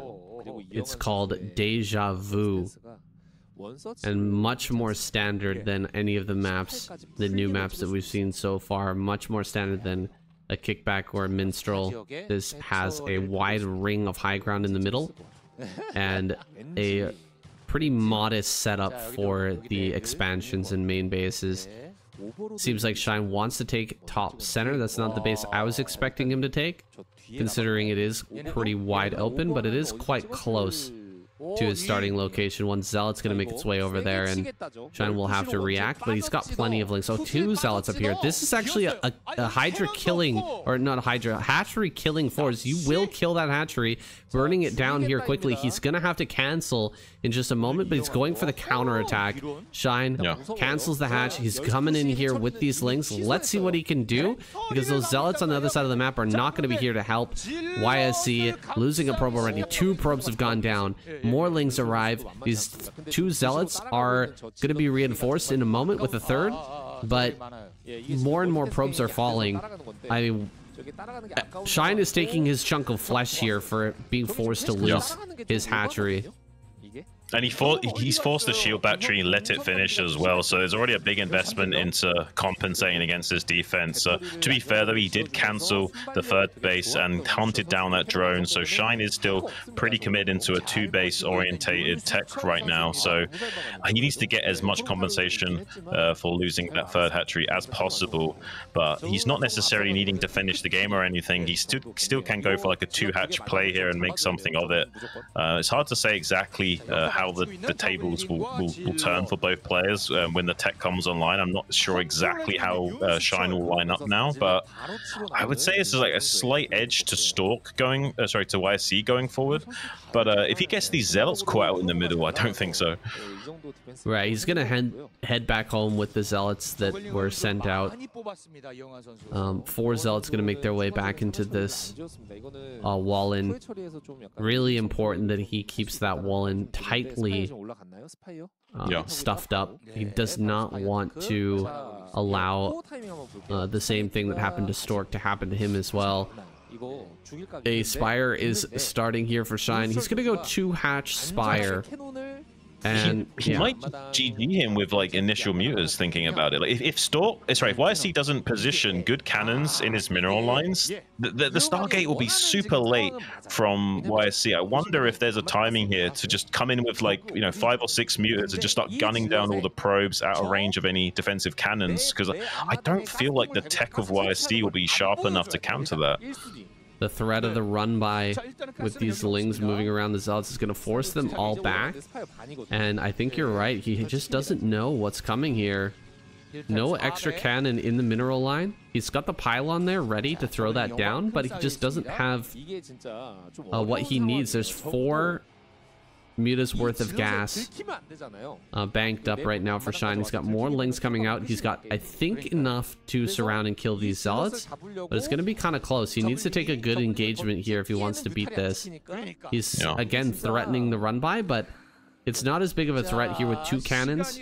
Why is he going to turn around, though? A third cannon coming up? Okay, that is an anti-muta cannon. There's an anti-muta cannon as well. Maybe he's going to have the defenses in position to deal with this from Shine.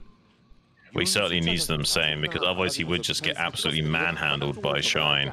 He's got the bare minimal set up right now. He may even want to get a little bit more. I'm not sure. Um, it depends on how much Shine wants to commit into this. If he makes non-stop Mio production here, he could still bowl over YSC despite this uh, commitment into defense. And he actually didn't really have enough uh, Zerglings to clean up that Zealot force. So he's a little bit lucky that YSC didn't uh, force the issue and maybe force any additional lings. I think there's a Sunken back there though, so he did have that to fall back to as well.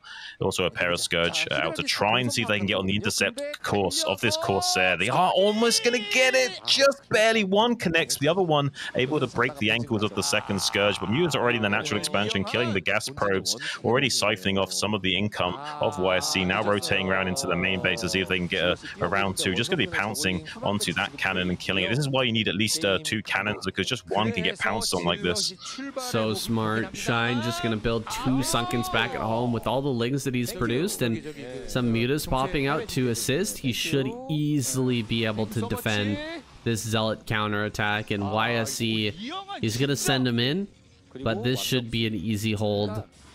Yeah, the main base is going down. We're going to lose the Stargate. We're going to lose the Nexus as well. Two mutas here, forcing everything back, and YSC just going to slowly lose these Zealots as they uh, kind of stroll their way back to the natural.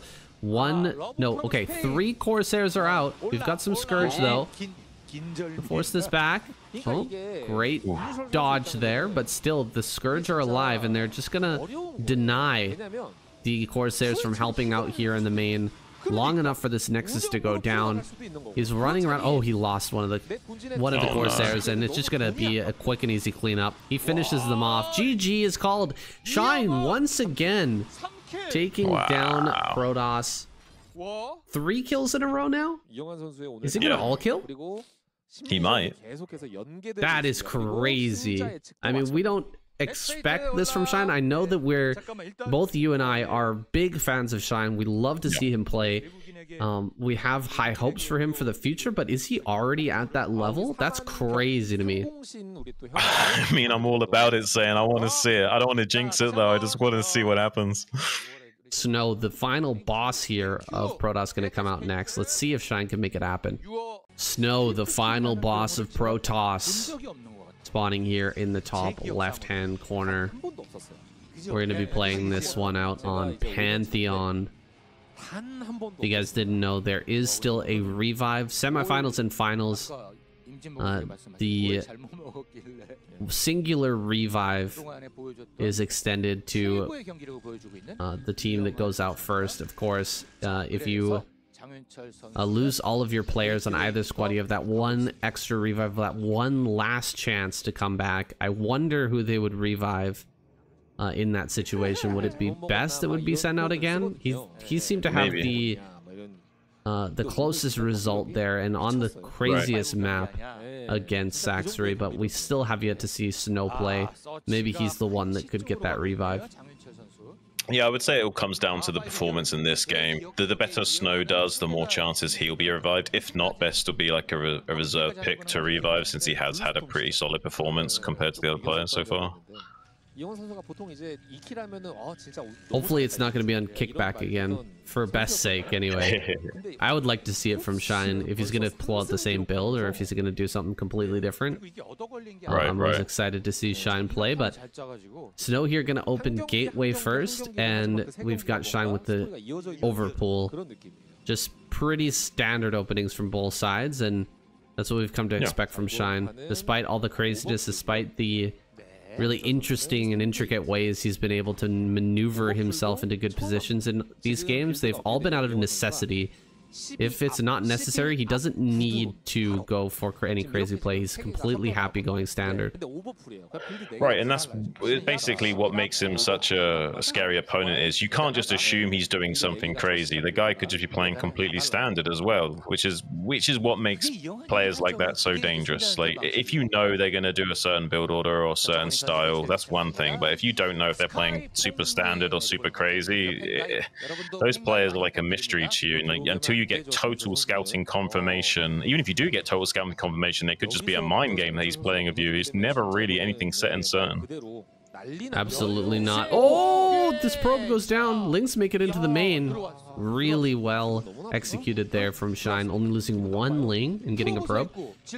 Two Lings in the main now. Going to be chased. One by the Zealot. The other Zealot going to head out on the map. Snow making a slight mistake there with his positioning and the way he was maneuvering that Zealot allowed those Lings to get by. Shine already with a bit of a leg up here. He's got to be over the moon right now. He, his chances of getting an all kill just went up by quite a bit. Yeah, I mean, it would be lovely to see if he can actually uh, achieve that. Doing a great job of getting another probe in the main base. He's been kind of like on top of things, actually attacking his own Nexus there. A little bit of misclick and frustration from Snow. Uh, if, he can get under Snow's skin early game, that'll be huge for him because Snow is a bit of an emotional player. So any form of shenanigans will be enough to like kind of like you know throw Snow just a tiny bit off his game. Yeah, Snow on his game feels absolutely unbeatable, but if you can get under his skin, uh, it's going to be a little bit of a roll. Let's see if we can get in here one more time. He had the opportunity to try and run by into the main one once more, but instead going to pull back these lings, bring them together. Hydralisk Den on the way here. Shine going to try and bust through. It is a vertical expansion, so this is an excellent opportunity to pull that build out. Let's see if Snow picks up on it. There's not a lot of space back here to build cannons either. There's like maybe two rows that you can build. I guess there's some more space there to the north just below the, the ramp. So he could probably build some more cannons over there, but let's see if he's got this figured out from Shine before it can come across this map. Yeah, you can easily fit like 11 or so cannons in those two lines. It's, it's, it's fine to cannon up, but the, the real question is when will he make the cannons and will they finish up in time? Uh, he will need to go up to a fairly early three, which will, you know, hold off the initial onslaught a little bit while the Zealots soak up some damage. But if he doesn't identify this quick enough and doesn't have that second and third cannon coming online right away and then has time to warp in another one or two, he could just get blindsided by this. Now, we haven't really figured out what kind of uh, Hydra bust this is going to be. When it comes to Shine, uh, it could be any flavor imaginable, right? What what kind of bust are right. we going to get here? Are we going to get the, uh, you know, Hydralisk range first with just mass Ling behind it? Are we going to get, uh, you know, Hydra... We, I mean, we've got the Ling speed, right? Um, that is a, a high possibility that it's just going to be the range. What do you yeah, think? with range with ling speed is viable with the current setup right now. Um, so we're just pure Hydra. So both of those two things are viable. So it could be range with the mass ling. Um, knowing Shine though, I feel like he'll just pull Hydras for the longest time and then go with um, range already on the way and like just hit him with a timing. Right as the Corsair sees, he pulls the trigger to go in with a mass amount of ling Hydra. Third cannon on the way. This is the safety cannon we often talk about. Uh, once the temp or once the uh, Stargate Corsair comes across the map, he spots the Hydras, then he will allow that to finish. If he didn't see Hydras, he could cancel. But having that on the way already is going to be a big boon to him. Shine holding back these Hydras a little bit too long, I think, because we've already spotted uh, the Hydras here. The cannons are up. Can he actually dive forward and force the kill on some of these cannons? He gets one already. Lings are going to be blocking really nicely here. The Zealots are not able to get to the front line. Another kill on a cannon here at the back. The probes being pulled are really messing up the Hydras, but another cannon falls. There's only, what, two cannons left? A third is on the way. Another cannon goes down. Shine is really close to getting this all kill right now. He's so, so close to securing that yeah. prize money. He can taste it right now. He's just on the edge of this base, breaking through. There's two cannons left, and Hydra's making the way to the front. Yeah, all of his senses are heightened right now. Does another dive to get that lower cannon, so now there's a, only one singular cannon remaining. Four are warping in, but they're like clocks. He'll wait until the the, top, the clock is about to strike midnight, and then he'll dive in and make his play to kill them. He doesn't have to kill the cannons until they're just warping in, so he's going to gun down as many of these probes as possible, and then either pull back or go for the cannons. Ooh, the Overlord may end up falling. Do we have a DT on the way? I didn't see any DTs pop out thus far, but if he gets the Overlord, and gets a DT to the front. Maybe he could survive, but so many Yeah. probes have died. 28 supply remaining, and that means very few probes still left over here for Snow. Great surround with the probes. He's actually getting a fantastic surround with those. Kills off a lot of these Hydras, but there's only one cannon left. The cannons warping up here at the front are likely to just get killed off.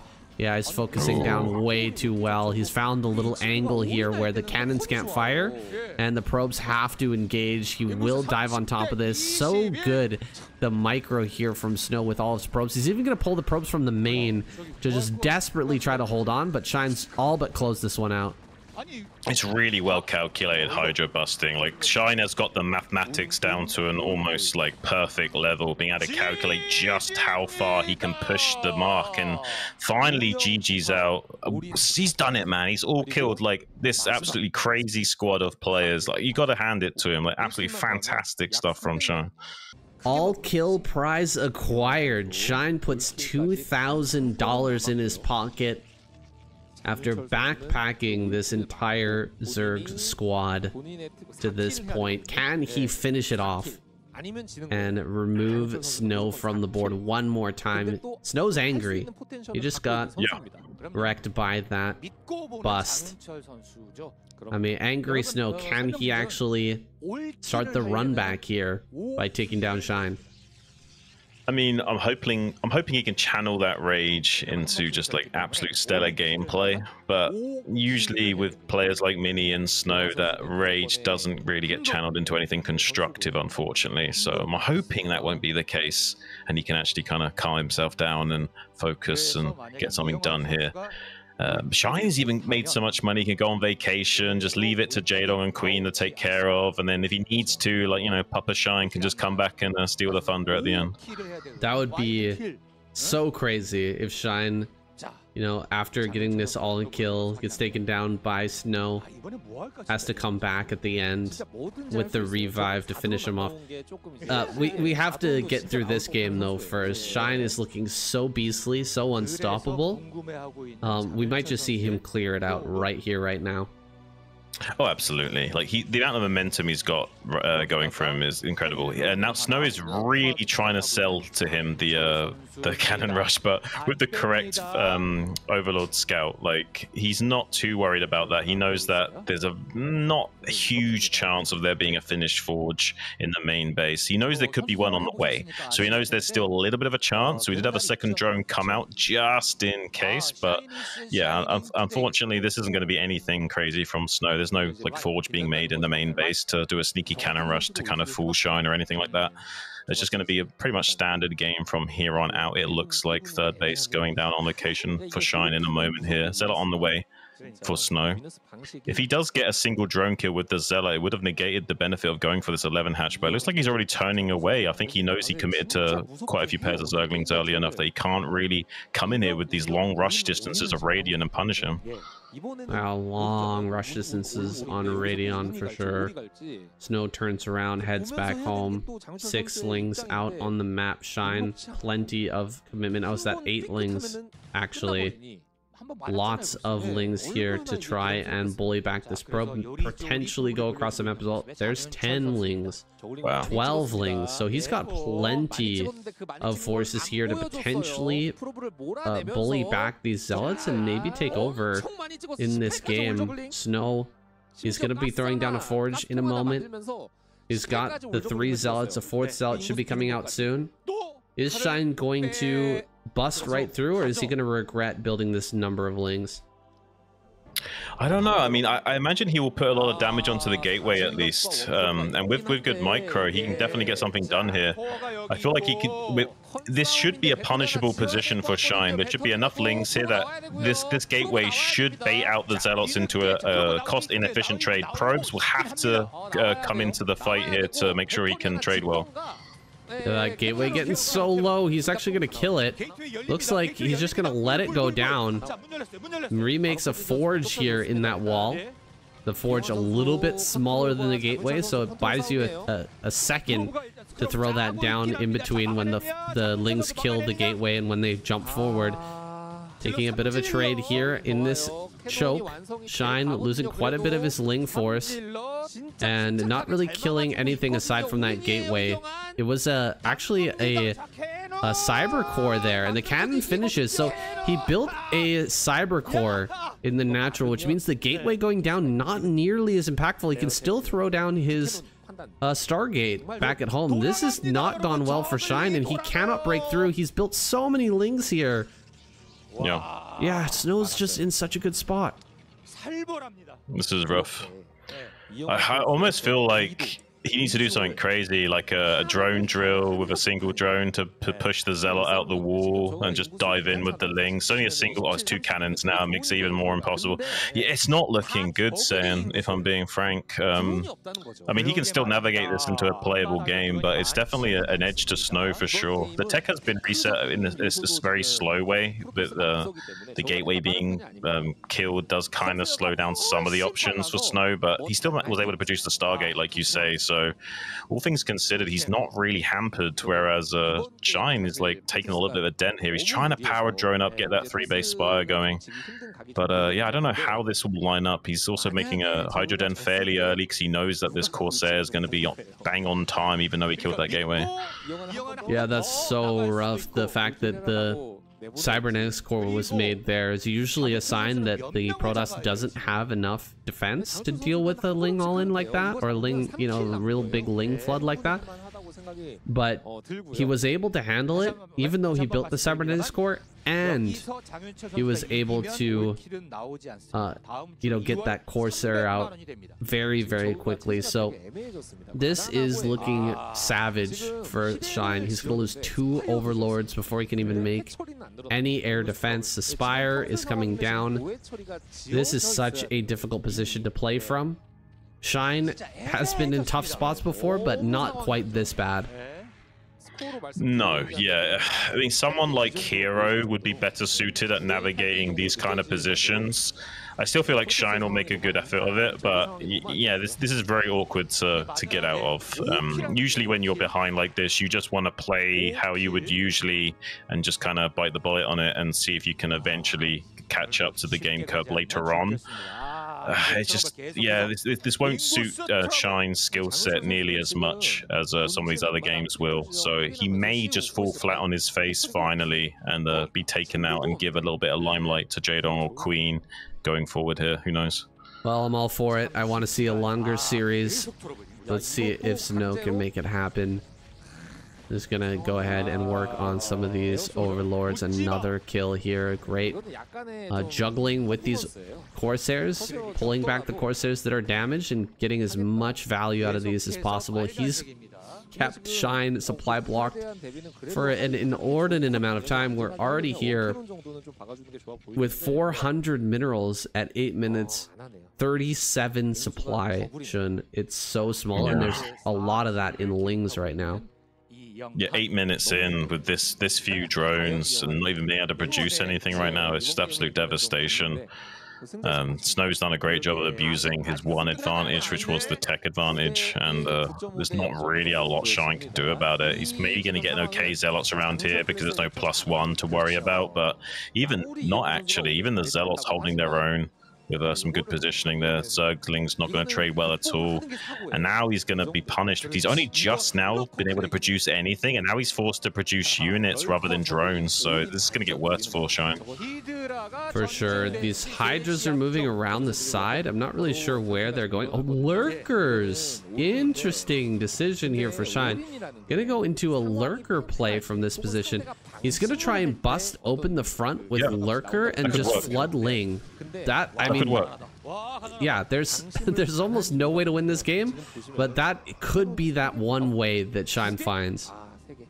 I mean, uh, honestly, looking at the game state, it does make a lot of sense, and he, it's one way he can kind of like mitigate the problem of these Corsairs as well, and just ignore them and just just just do a full-on like dive into the natural expansion with Lurkers. There's only two cannons on this wall. They only have 100 hit points and 100 shields each, so can bust through that very easily. Just going to burrow right on top of the Forge, uh, trying to get this round on the Zealots with the Lings to prevent the Zealots from retreating. Two of them unable to get away. The other two to try and do their best to plug the gap, but the Lings are kind of getting on top of these cannons. Both cannons are going to be falling in short order. Now the Forge can get targeted down to open up the wall so that the Lurkers can eventually shuffle forward.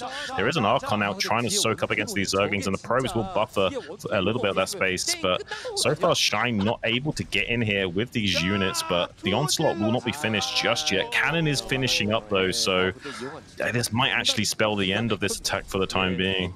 Oh wow, that Archon so clutch. I think that was maybe for uh, defense against a potential like lurkers or not lurker, excuse me, muta switch. But the lurker uh, I mean, Lurker Ling gets handled brutally by Snow with this one Archon. It turned out to be the perfect unit to have in a circumstance like this. A lot of Hydras are out now. Drones are going to start to take damage from these Zealots. Looks like a great pull out from Shine, keeping most of those alive, but he's going to come back in and target some of those on the exit. Snow will be pushed back, but he's got doubled the supply of Shine and he's managed to reestablish his natural. He's got plenty of cannons there. He will have Storm shortly, as it's 10 minutes, almost 11 minutes into this game.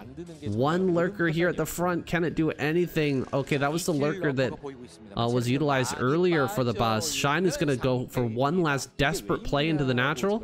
There's not enough energy for Storm. Maybe he can make it work. Here we go. Okay, targeting down the front Templar. That bites the dust quickly. The Archon's actually getting focused down very easily by these Hydras. Start to go to work on those cannons well. Shaves off the cannon that's in the front. These two rear cannons really being a problem, though, and forcing Shine to back off for the time being. And the Overlords are just mowed down by those Corsairs. So now the DT can really go to work as well.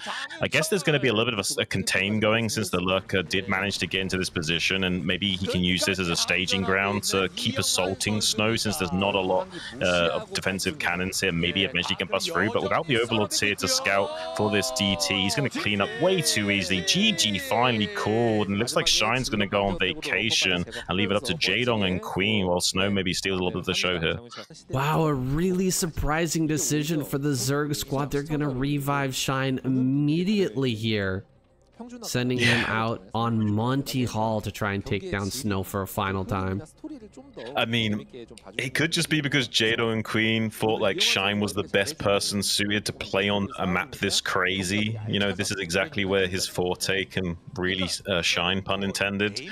Um, but also could just be because, you know, it is his time to shine pun very much intended as well, because he's had an absolutely amazing performance. And honestly, a bit of a breakout performance. He's not really had this much limelight for quite some time. He's, you know, he, he's a very high caliber player, but it is very difficult in such a zero sum game like this to, you know, to break through to the surface, to get a bit of oxygen. Uh, the, the, depths of, and the, the darkness of the oceans of StarCraft are very treacherous, and not many people ever get to see the starlight.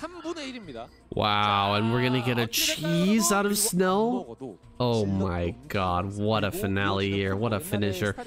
I mean, if Snow manages to win this, we're gonna go to two more games, but I oh oh wait what Shine he's gonna jump a, a drone over here I think this is for another base but will he scout will he scout downward a little bit if he builds the hatchery it's gonna be bad but if he comes down just a little bit. He'll see this base. No, he's not going to spot it.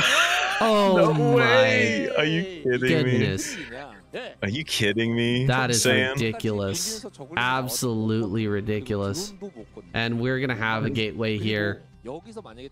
Uh, building just outside of this hatchery. It's almost a, a, game over at this point. This is such a bad position for Shine. It's, yeah. I mean, he can't fight I mean, this with drones. No, and he's opening up this mineral wall as well, slowly but surely. Yeah, which will help Snow come in here for the finisher.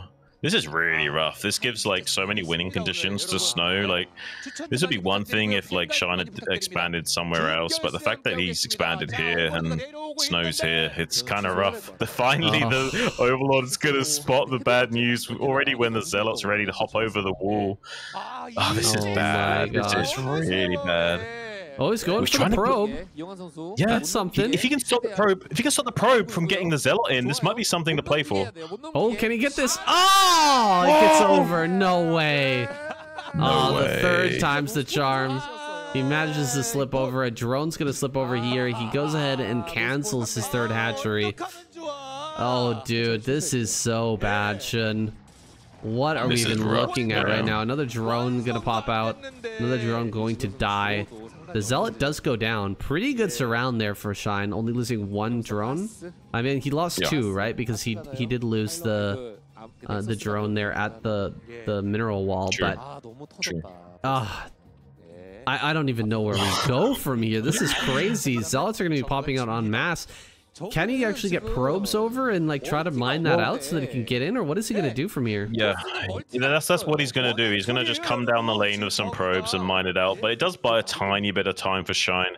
It's just so rough because now Shine has to expand down a different lane, get this third hatchery going again because he cancelled it earlier, so he's already slowing that down, even though he's gonna make it anyway. Yeah. He might he might be able to do something to stop the zealots getting in too efficiently here. I don't know, but it's going to be really rough for Shine. There's a chance that he can kind of glitch the zealots out as they jump over the wall and get good surrounds on them, so it's not like over yet. But yeah, I don't know. Yeah, we've got a Nexus back at home for Snow. I mean, it's it was thrown down before this hatchery. Um, so I, it, it's crazy how far ahead Snow is right now. It's gonna take a miracle, an absolute miracle, for Shine to find a way back into this game. Another probe goes out on the the top path here on Monty Hall. Like, can he just like pile on this and cannon it? That would be just insult to injury right now. I mean, he might. He might go for it. I mean, Shine is mining out that wall though, so he may have some counterplay options to that very soon. And with the third hatchery finished up in the main base, it, it will not take him long at all to mine that out. Mm-hmm. But then will he send the drone over there? Oh, he sees the hatchery. I think the probe's been spotted as well. He sees that they're mining out this wall slowly. Um, he's actually getting some good minerals from this kind of weird wall uh, in between his main and natural, which is funny. Some Uh, compensation, yeah. Interesting decision making there from Shine. Like, I, it seems like he wanted to do the same exact thing. Um, had things gone a little bit more his way earlier on in the game, he would have done that uh, that same hatchery positioning and mining out that wall. Pretty pretty interesting uh, way to play out on Monty Hall. I wonder if we're gonna like I I, I know that this game is really in a bad position and it's probably gonna result in a snow victory, but I almost want to see like a rematch right after. I want to see Shine play again on this map. And I'm just very interested Yeah. to see what his decision making would have been had we not had that uh, you know initial attack go so well. Right. Yeah, I'm very curious as well. I mean, I, I I mean, he still might be able to make something of this game. I wouldn't say he's like definitely dead. He, he should be dead. I, I feel like Snow will most likely be able to navigate this into a win, but it is a bit of a funky map, so there is a chance for Shine to flip the script on Snow in this. It's not going to be as cut and dry of a victory as Snow would it like it to be. So I, I still think there's like a lot of playability in, in this game for Shine for the time being. Is it as bad as last game? Shine's position? I almost feel like it might be worse. it, it's technically worse, but there's more vectors of uh, attack in, on this map. So Right. There's more combat potential still, even though the position may be objectively worse. Right. There's more room for creativity in this position on this map. Yeah. Um, now, overlords are starting to die, and the spire is just about done. Looks like these zealots are going to get surrounded and killed pretty reasonably quick. But three overlords are about to fall, and I don't think he'll be able to produce anything. Does he have that spire done? No. Spire's not done. There it is. Did he, was he able to make anything? I think he just barely managed to squeeze out one egg worth of Yeah. Scourge, so he should be able to stop the bleeding here in just a moment. Yeah, I mean, he will still have to pay a bit of a tax, unfortunately. Oh, look at this lose- double expansion. What does he do? Yeah, this is. I, I think he realizes that he's got no hope of um, winning this game anytime soon. But if Snow can't punish these expansions, he might have a strong hope at having a very powerful mid game late, uh, mid to late game later on. And he's just maybe just yeah, kind of putting all his eggs into the later game phases of the later game phases, rather than worrying too much about how bad of a game state he's got right now. He's just going to set himself up for as golden of a mid to late game as he can possibly manage. Double Stargate from Snow. Double Stargate Reaver from Snow. Ooh, Crazy decision making here from Snow, but I mean, from a position that's almost unlosable, Snow's gonna pull out his favorite unit and see if he can end the game with it. This is gonna be really tough for Shine. Like the the the four base play. Uh, although I definitely agree with what you're saying, just like going up into a late game and not even worrying about this kind of tragic early game, um, might be a good idea. But with four bases, it's going to be so hard to deal with the, the Yeah. Reavers flying in on all these different locations. Yeah, that's true. And Snow might also be a little bit annoying with these Zealots because now he's forced to make additional lings and he may even be uh, forced to stop mining with some of these drones in the main base. So another little thing going wrong here for Shine and any damage is pretty critical because he needs things to go as smoothly as possible just to kind of catch up in the game. If he's already losing more drones like this and being forced to stop mining, it's, it's a little bit painful. But he is getting a couple of these Corsairs with the Scourge connections. and if he can keep the Corsair count low enough, he might even have uh, room to claim some small air superiority, and that will help him out uh, in bucket loads against this Reaver Sair because Reaver Sairs are honestly, arguably, the, the hardest build orders and styles to execute in the game. And if Snow like makes any mistakes here, like Shine could just like flip the script on him. That's true. Four gases for Shine. what is happening? We're going to four gas already. We have hardly any Yeah, drones on any of these bases, but he's just gonna mass scourge. Yeah, literally just mass muta scourge, nothing else, and he's just going to try and get some kind of small air superiority and leverage that into crushing the Reaver Sair, and it could work out. Uh, unfortunately, though, the neutron flares of the the Sair's going to be finding these mutas before any uh, scourge were in sight to aid them, so already softening up way too many hit points on these mutalisks before anything's really been able to transpire, and meanwhile has been denied mining gas at one of these bases at the very least. So yeah, a bit awkward for Shine. Would have been way better for him to just be a little bit more. What? Uh, What's what going on? Is he? I don't is know what he's. Um, I think he's hoping to like build um, sunkens uh, down here, or and try and set up some kind of fortified position to to use as a staging base. But unfortunately, Snow's going to get on top of that way too easily. Snow's uh, Shine's kind of trying to be as cute as possible here. Unloads the the Reaver on top of the sunken, just tanking the shots of the um, subterranean tentacles, uh, trying to get as many Drancos as possible before the Scourge and Mutas finally clean that up. And he did get quite a sizable amount of drones. Yeah, that was some deadly harassment there from Snow. So many drones just went down, and he can't really afford to produce drones at the moment. Because Snow's gonna move out with a really big army in just a few seconds. He has to be building like pure Muta and Scourge to try and fight this Yeah. dude. If the Scourge don't connect, Shine is gonna be dead. If they connect on all the Corsairs, he might just barely win. So it's uh it's a really tough spot right now for Shine. He could also uh, just get a shuttle snipe would also suffice, but that's harder to accomplish sometimes. Um, the, the Corsairs will most of the time be in position to screen for the shuttle as long as Snow's on top of things. He's got a pretty pretty big armada of Scourge that maybe he can just do a massive maneuver and like get on top of those, but it looks like he is going to sneak into the main base with this shuttle while just playing distraction on the right hand side here. There's no shuttle in sight, so you're going to get good connections on some of these uh, Corsairs with the Scourge. Not the best actually. A lot of those detonate on the same uh, Corsair. Meanwhile, their Reaver Scarab kills have been huge in the main base. GG just going to be called from Shine. His time to shine is now over. Snow Show is back in business, and it's Jaedong and Queen waiting in the wings. Maybe a little bit scared, Sam. Well, it was an interesting gambit sending out Shine with the quick revive there, but it hasn't paid off. And now it's just down to Jaedong and Queen finish off this final Protoss player. Can either of them is either of them up to the task of taking out Snow here? Um, Well- Jaedong, I mean kickback. This is a crazy map. We've already seen it once. Is it going to be similar to what we saw at Ashine? Uh, It is vertical spawn saying so. I mean, you have the direct path for shuttles and mutalisks and what have you into the main bases and natural expansion areas. So not quite of a sit back and macro map. There could be some shenanigans that transpire if both players uh, do try and be a little bit greedy. The other player may try to exploit that. Well, that's interesting. wait Look at and that. see. Jaedong going 10 hatchery. Yeah. Uh, I mean, you don't you don't see that kind of thing very often. I guess um, he's trying to exploit this map to his heart's content and going for more larva optimization. Very interesting. I, I I know that 9 hatch is a pretty good build, but Well, it makes sense if he's expecting the gateway first, and it is a gateway first. hmm.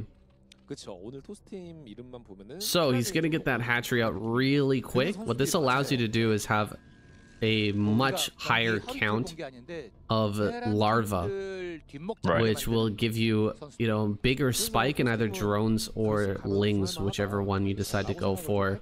Um, since it is that gateway first, we're probably going to see that pressure uh, coming here from Snow, which means a large number of lings might just be able to smack that down, and he could put the pressure back onto Snow in his natural. Right, yeah, and the timing is actually uh, pretty potent as well because the zealots are arriving into the main base as the lings can all sprout at the same time. So you've got like eight zerglings to just one single zealot, and if you can't get that zealot uh, safely away, you can really turn the tables on the Protoss player. And Jaedong also slowing down this zealot for a few precious seconds with that drone as well, just making sure these zerglings are as on time as possible. Looks like he's going to get into the mineral line here. Can he actually get a kill? The lings are just a little bit slow. They do pop out now, though. Probe dies immediately. He's going to get this around on these...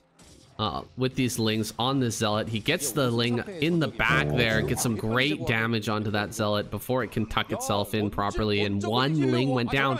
One ling! One ling Shit, this is scary. This is scary. We could actually die just to ling counterattack right now.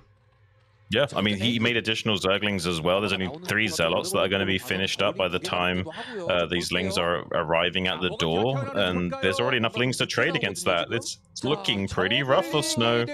Uh, I think he was hoping that the Lings would chase the probe a little bit or something, but that's not going to transpire. There's those three Zealots, but he can already go to work at hitting at this uh, gateway to force the Zealots out of position to then try and go for a surround or run by, as we can see here, just using three Zerglings to target down this gateway while the rest of the Zerglings try and see if they can slip in. Does get the tucks around on that initial Zealot and gets the kill on that as well. Now there's enough hole in that wall to catch these other Zealots as they're coming out of this gateway. To kind of keep the Zealot count down on two right now is insane. That means any additional Zerglings will come down here and still be a big boon to Jaedong and allow him to keep putting pressure on this gateway since he's only able to make one Zealot at a time And now. Does maybe get the surround on this Zealot as well. Beautiful surround. He's barely, barely surrounded on that Zealot. Like one pixel and he wouldn't have had the block on that Zealot. It's absolutely insane calculation from Jaedong to still get that. And now going to be going to work on those probes in the main base as well. It's pretty insane damage, Sam.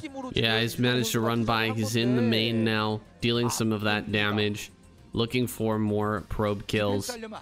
It's a very tough situation here for Snow. He will eventually get that forge. Uh, I think he's got the forge already. He's got the cannon now coming up uh, in the natural, but with only two zealots out, more pressure can come here from Jaedong. He's building more lings back at home, sending them across the map. He will catch this probe. Oh, almost gets that kill. He has the lair on the way as well. He's well positioned to go into a normal game. This is the Jaedong we were hoping to see, man. This is a really nice Jaedong um, that we're getting today. It's uh, kind of a toss-up what kind of Jaedong we're actually going to see, but uh, this is like primo Jaedong that we're getting right now.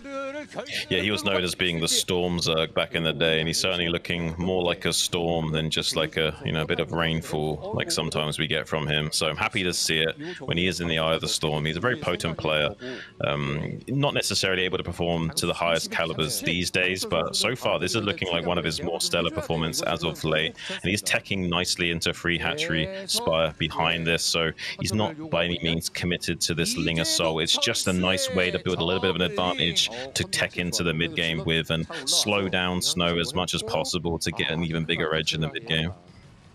Spire's already on the way. Stargate just started. Looks like you'll have Scourge in time to deal with this. There's the speed finishing up as well. Ooh, don't want to lose those lings just yet. With the speed finishing up, they're much more valuable. Drones heading across the map. That's a little bit of a mistake. He'll correct it in just a moment here. Looks like a rally point was a mistake, uh, was messed up there. But uh, Jaedong has yet to send out another drone to take a base in the top right or the bottom right. I think there's one that was uh, rallied forward. I think he grabbed one of those and just sent it out on the map. Lots of hatches here in the main as well. So he's getting into a good macro position, trapped up here on the high ground, but denying a third base from coming up from Snow. More Lings coming out here. Is he actually going to try and run by once again? There's only one yeah, cannon. Hmm. Well, Snow's mining out his own wall right now, so it'd be really funny if he lets Snow mine out the wall and then like uses that to run by in a few moments here. I don't know. I don't think he's got vision on that mineral being taken down. Oh, he gets a probe. But, uh, okay, 12 o'clock's going to be taken by Jaedong. That's an interesting fourth base location to take. It doesn't net you a bunch of other bases uh, just by taking that, right? But it does give you a pretty easily defended base. 12 o'clock is very hard to get into. It's a really tight choke. Yeah, it's a very tight pocket, and with just a few lurkers, you can really defend that nicely. It is also very droppable with shuttles later on as well to come in there and be annoying, but very easily to fortify in the uh, early mid-game stages here for Jaedong, so it's a nice little choice here. Probably won't get the uh, intercept vector on that Corsair, just off by a centimeter or so. Just going to have to let that Corsair get back to the safety of the main base. Meanwhile, trying to get a good surround with these Zerglings to make this force as uh, easy to deal with as possible. Doesn't want to dry up too many of these Zerglings. You don't want to have, have to replace these. Uh, he's already committed a lot of larva into making Zerglings this game. Any additional lings he has to make is going to be a bit of a downside now. He needs to make as many drones as possible before going back into his uh, unit production. Snow just being annoying here, trying to keep the Dragoon alive as long as possible. He knows it's eventually going to die, but uh, he's just eating up a little bit of the Jaedong APM uh, by keeping that Dragoon moving constantly. And Jaedong now has his fourth base finishing up. He's going to start to saturate that location. Has a big boon of minerals and gas right now, but what can he do with it? Snow seems to be content to just sit here on two bases for now. Rather than grabbing his third, he's gonna power up and probably move out on two. Uh, try to put some pressure on Jaedong, who's maybe premature, prematurely gone up to four. This is a pretty fast base.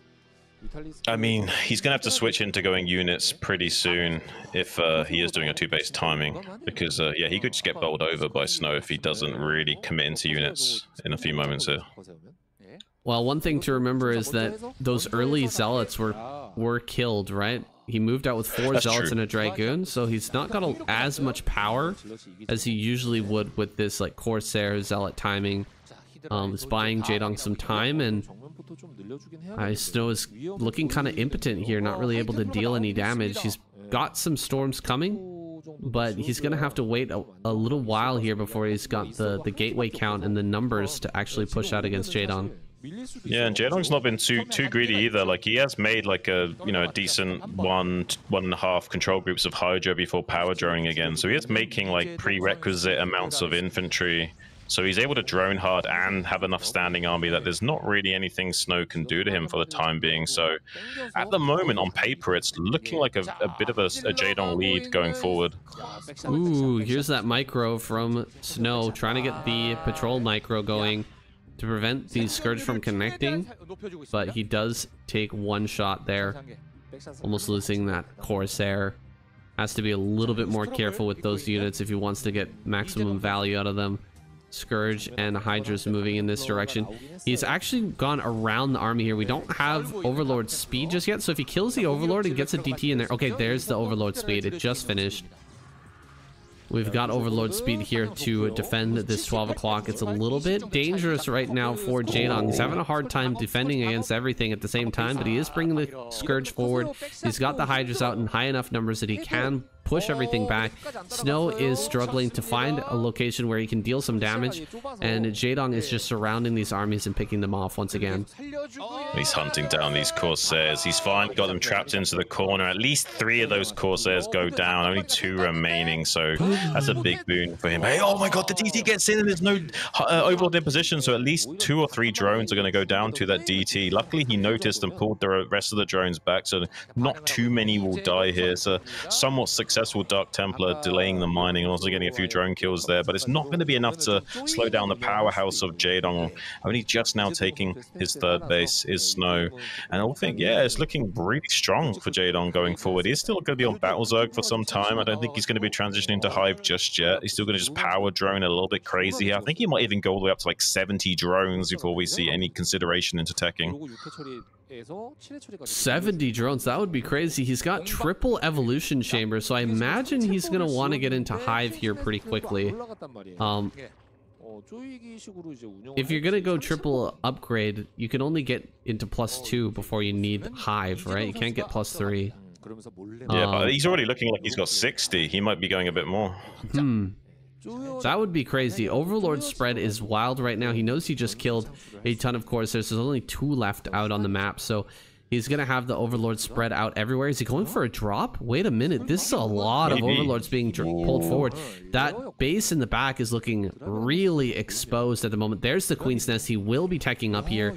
Uh, with the drop coming in to distract, it's going to give him lots of time to tech up. The army is just moving out for snow. This is the perfect timing. Jaedong going to get in here and deal so much damage. This is beautifully done by Jaedong. He knows around 12 minutes is like the mid-game timing push off the Protoss player. Beautiful time to come in for a nice tactical drop on this base. It's uh, exactly the kind of plays I wanted to see on this map. Not just sitting back and kicking back and relaxing, but you know, taking advantage of your opponent doing just that and going to be getting the kill on this uh, for sure on this Nexus and tries to use a little bit of a lurker block on that uh, ramp to buy some time. Doesn't even need to really trade well there, to be honest. Getting that Nexus snipe alone is good value. Now he knows about this base in the bottom right as well. I don't think he's going to be able to do anything about that uh, initially, but if he gets some overlords over there and drops that base as well, which I think he's going, yeah, he's going for it. He might be able to kill this base very quickly, actually. That would be wild. Loading up some overlords. He's going in. The Corsairs are there, but they're not in high enough numbers to stop this. There's only two Zealots over here. This could be the winning uh, the, the winning move right here for Jaedong. That wow. one single lurker is going to be such a thorn in the side of Snow. He just cannot deal with that. Oh, and a drop into the... Oh, what? This is huge. Yeah, those subterranean spines ripping through that probe line. Snow hasn't even noticed. Like, there's so much going on in this game that he hasn't even noticed. He's still not noticed that probe line. He's probably thinking that the game state is much better than it is right now. As soon as he notices now, now he's going to be frustrated, probably wanting to face palm, but he knows he can't take his hands off that keyboard or mouse at all right now. He needs to be firing on all cylinders to have any hope at winning this game. He's currently behind in supply by at least 12, and now this base has been shut down. He's been relegated to just one base worth of mining after Jaedong sniped both of those Nexus and got the drone line. And this Overlord with some lurkers going to be forcing some mine mining lost in the main base as well here. Forget about the Drift King. Jaedong is the Drop King. He's landing so many great drops around this map, dealing an insane amount of damage just Snow basically putting himself into an unlosable position. He is looking so good right now. He is going to lose a few extra overlords, but he's got a base up in the top right hand corner. He has Hive on the way. That Hive tech coming online with this five base economy. Xun. How is this even like? How are we going to stop this? This is crazy. yeah, this is absolutely wild. I mean, he could do pretty much anything he wanted to, and it'd still probably be a good idea. Like he could even come down the vertical vector with guardians and probably make that play work. It's absolutely insane right now, and look at the stream of units. It really does seem like the old school Jaedong, the Storm Zerg that we know of old, coming back to life and just ripping apart these new top tier so-called you know, young guns that are like like supposedly so good, but they're still getting beaten by one of the oldest pro gamers in the business. And yeah, this army is going to get completely surrounded. This is really looking like the Jaedong of old with the Sauron Zerg levels of macro. He's completely surrounding this army and pushing it back. Another base has been taken down in the bottom right for Snow. It's kind of like a hidden base right now because Jaedong not yeah. going to be expecting that to go up. And Snow does not have anything defending that location whatsoever. It could easily be killed and stopped by just a couple of lings sent down to that location, but Snow is going to be able to mine from that for a little while here. His natural base is actually mined out, and I think that Jaedong will mine out his two bases on high ground pretty soon as well. Um, yeah. Yeah, that is going to be a factor here soon. It's just not going to happen as quickly as a Protoss player. No, uh, he has also got the Defiler Mound on the way now, so even though Jaedong's Battle Zerg is trading more than efficiently enough right now, 30, 20 supply ahead of Snow, it's absolutely insane with just pure Battle Zerg. Now he's going to have Hive Tech coming online pretty soon, and we'll have Dark Swarms and Plague as well to make these trades go even more efficiently in his favor. Finally, Snow able to churn away some more minerals mining in this bottom right base. But now that um, Jaedong's going to have these bases sprouting up in the top right. Even when his bases do get mined out, he still should have enough juice in the tank to get the job done. And with this kind of contained setup and denial of the base being taken in the bottom right natural, I think he's just about done enough here to kind of create a game-winning state where he just kind of has to like keep the pieces on the board as they are already uh, set up and just trade off as efficiently as possible. And eventually he'll be in a game-winning situation. Snow scouts the top right. He sees what a desperate situation he's in right before this drop comes in onto his high ground. Jaedong just going to shut down this base all of a sudden with lurkers and hydras landing here. All the probes are going to get taken down in one flurry of death and destruction. GG is called. GG. Snow taps out and Jaedong clutches it out for the Zerg. All right, here at the final screen, we're going to be rounding things out. Zerg going to be going up against Terran next week, and I couldn't be happier, Xun. This is the yeah. main plot line. This is like the the best possible outcome for us. Yeah, this is like if they actually had good script writers for the final few seasons of Game of Thrones, like what it should have been like, you know what I mean? Yeah, they they really messed that up, but it seems like the KCM writers are on another level. They're just uh, oh, keeping yeah. it strong here right to the end. It's been such a fun season. We've had so many good weeks, so many great moments this season. It's it's been fantastic, Xun. I mean, it, we couldn't have asked for a better season. I mean, even like the first like five or six weeks, it was just each week was getting better and better and better, and just ramping up to like one of the most craziest climaxes we've ever seen in like KCM history. And now in the semifinals, you've got Shine getting an all kill. I mean, what is going on in the StarCraft world right now? Yeah, I'm so happy for Shine, man. He absolutely deserves that two thousand dollars. Um, Big Daddy Shine. I know he has a couple of kids at home. And as a professional gamer like i don't i don't know how popular he is as a streamer. Um and right. so that that might be really helpful to him you know trying to make things work uh, with a couple of kids and a pro gaming career. It's it's got to be tough. So you know his efforts really paying off this season. I hope that he does well in the asl or ssl as well um, and absolutely, I, I, mean, if this is any indicator of the level of play we're going to see out of him, I think we're going to see great things this season. I mean, one can hope so, and certainly you and I are going to be wishing him well, no matter what, going forward, and we'll definitely be keeping our eye on him. And has to be said, um, Jaedong as well, really strong performance from him. But back to his old Storm Stormzerg self, really stellar performance. And it also seems like Snow just a little bit dwindling in the limelight now. And maybe his reign is starting to subside a bit. And the psychological toll of those that series with Flash and maybe a few other factors kind of grinding him down a little bit psychologically, enough that he's starting to get pulled apart by some players he usually wouldn't have too much of an issue with. For those of you who aren't uh, aware of the situation with Snow and Flash. Um, Snow right. played a couple of matches. I casted on my channel. He ended up getting uh, kind of wrecked by Flash. Then he went into a six game series uh, that was all streamed, by the way, by him. He was he was streaming the entire thing, and he went zero and six. It seems like a very big mental blow to yeah. Snow and his dominant performance that we've been uh, witnessing and his rise to power seems to be diminishing slightly as maybe a result of that series. I mean, he was definitely adversely affected. He had his head in his hands, and he couldn't even bring himself to like join another game for a very long time. It, he eventually got some of his confidence back from playing on the ladder against some, you know, amateur Terrans and what have you. But I mean, you, you got to think that something like that is taking a toll on him, and it did seem like he was a little bit crushed that day. And ever since, he's not really been himself. So it, it is almost like a, a, like a champion level boxer that finally gets knocked out just that one time, and they're never quite the same after they lose that one fight. You know what I mean?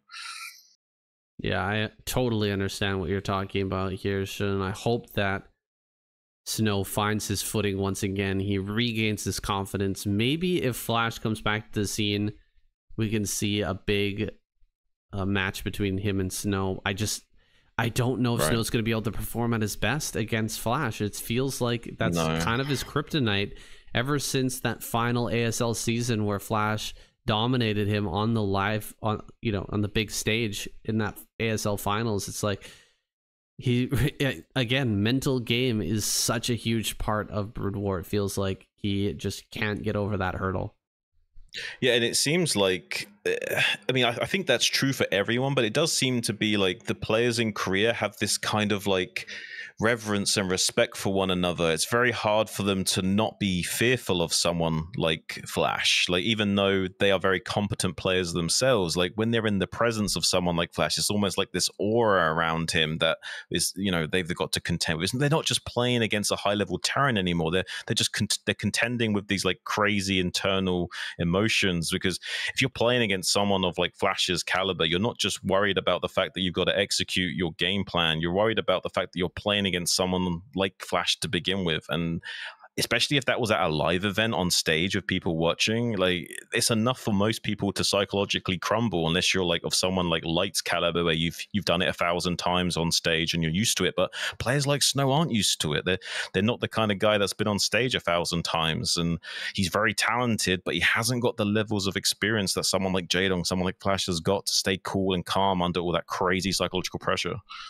Absolutely. Well, here we are talking about Flash and Snow once again, the hot topics right now uh, in the scene, but we really should be celebrating Shine for his amazing play this week. Yeah. His all kill prize, well deserved, and the Zerg squad will move on to face up against Terran next week. Uh, I don't think there's going to be any delay to that. It should be coming out, like it says here, uh, around the 21st. We'll get that casted and out to you guys uh, probably by the 22nd. Thank you guys so much for watching. It's been a beautiful season, and I hope that it's going to be an awesome finals as well. See you guys in the next video. Thanks, guys.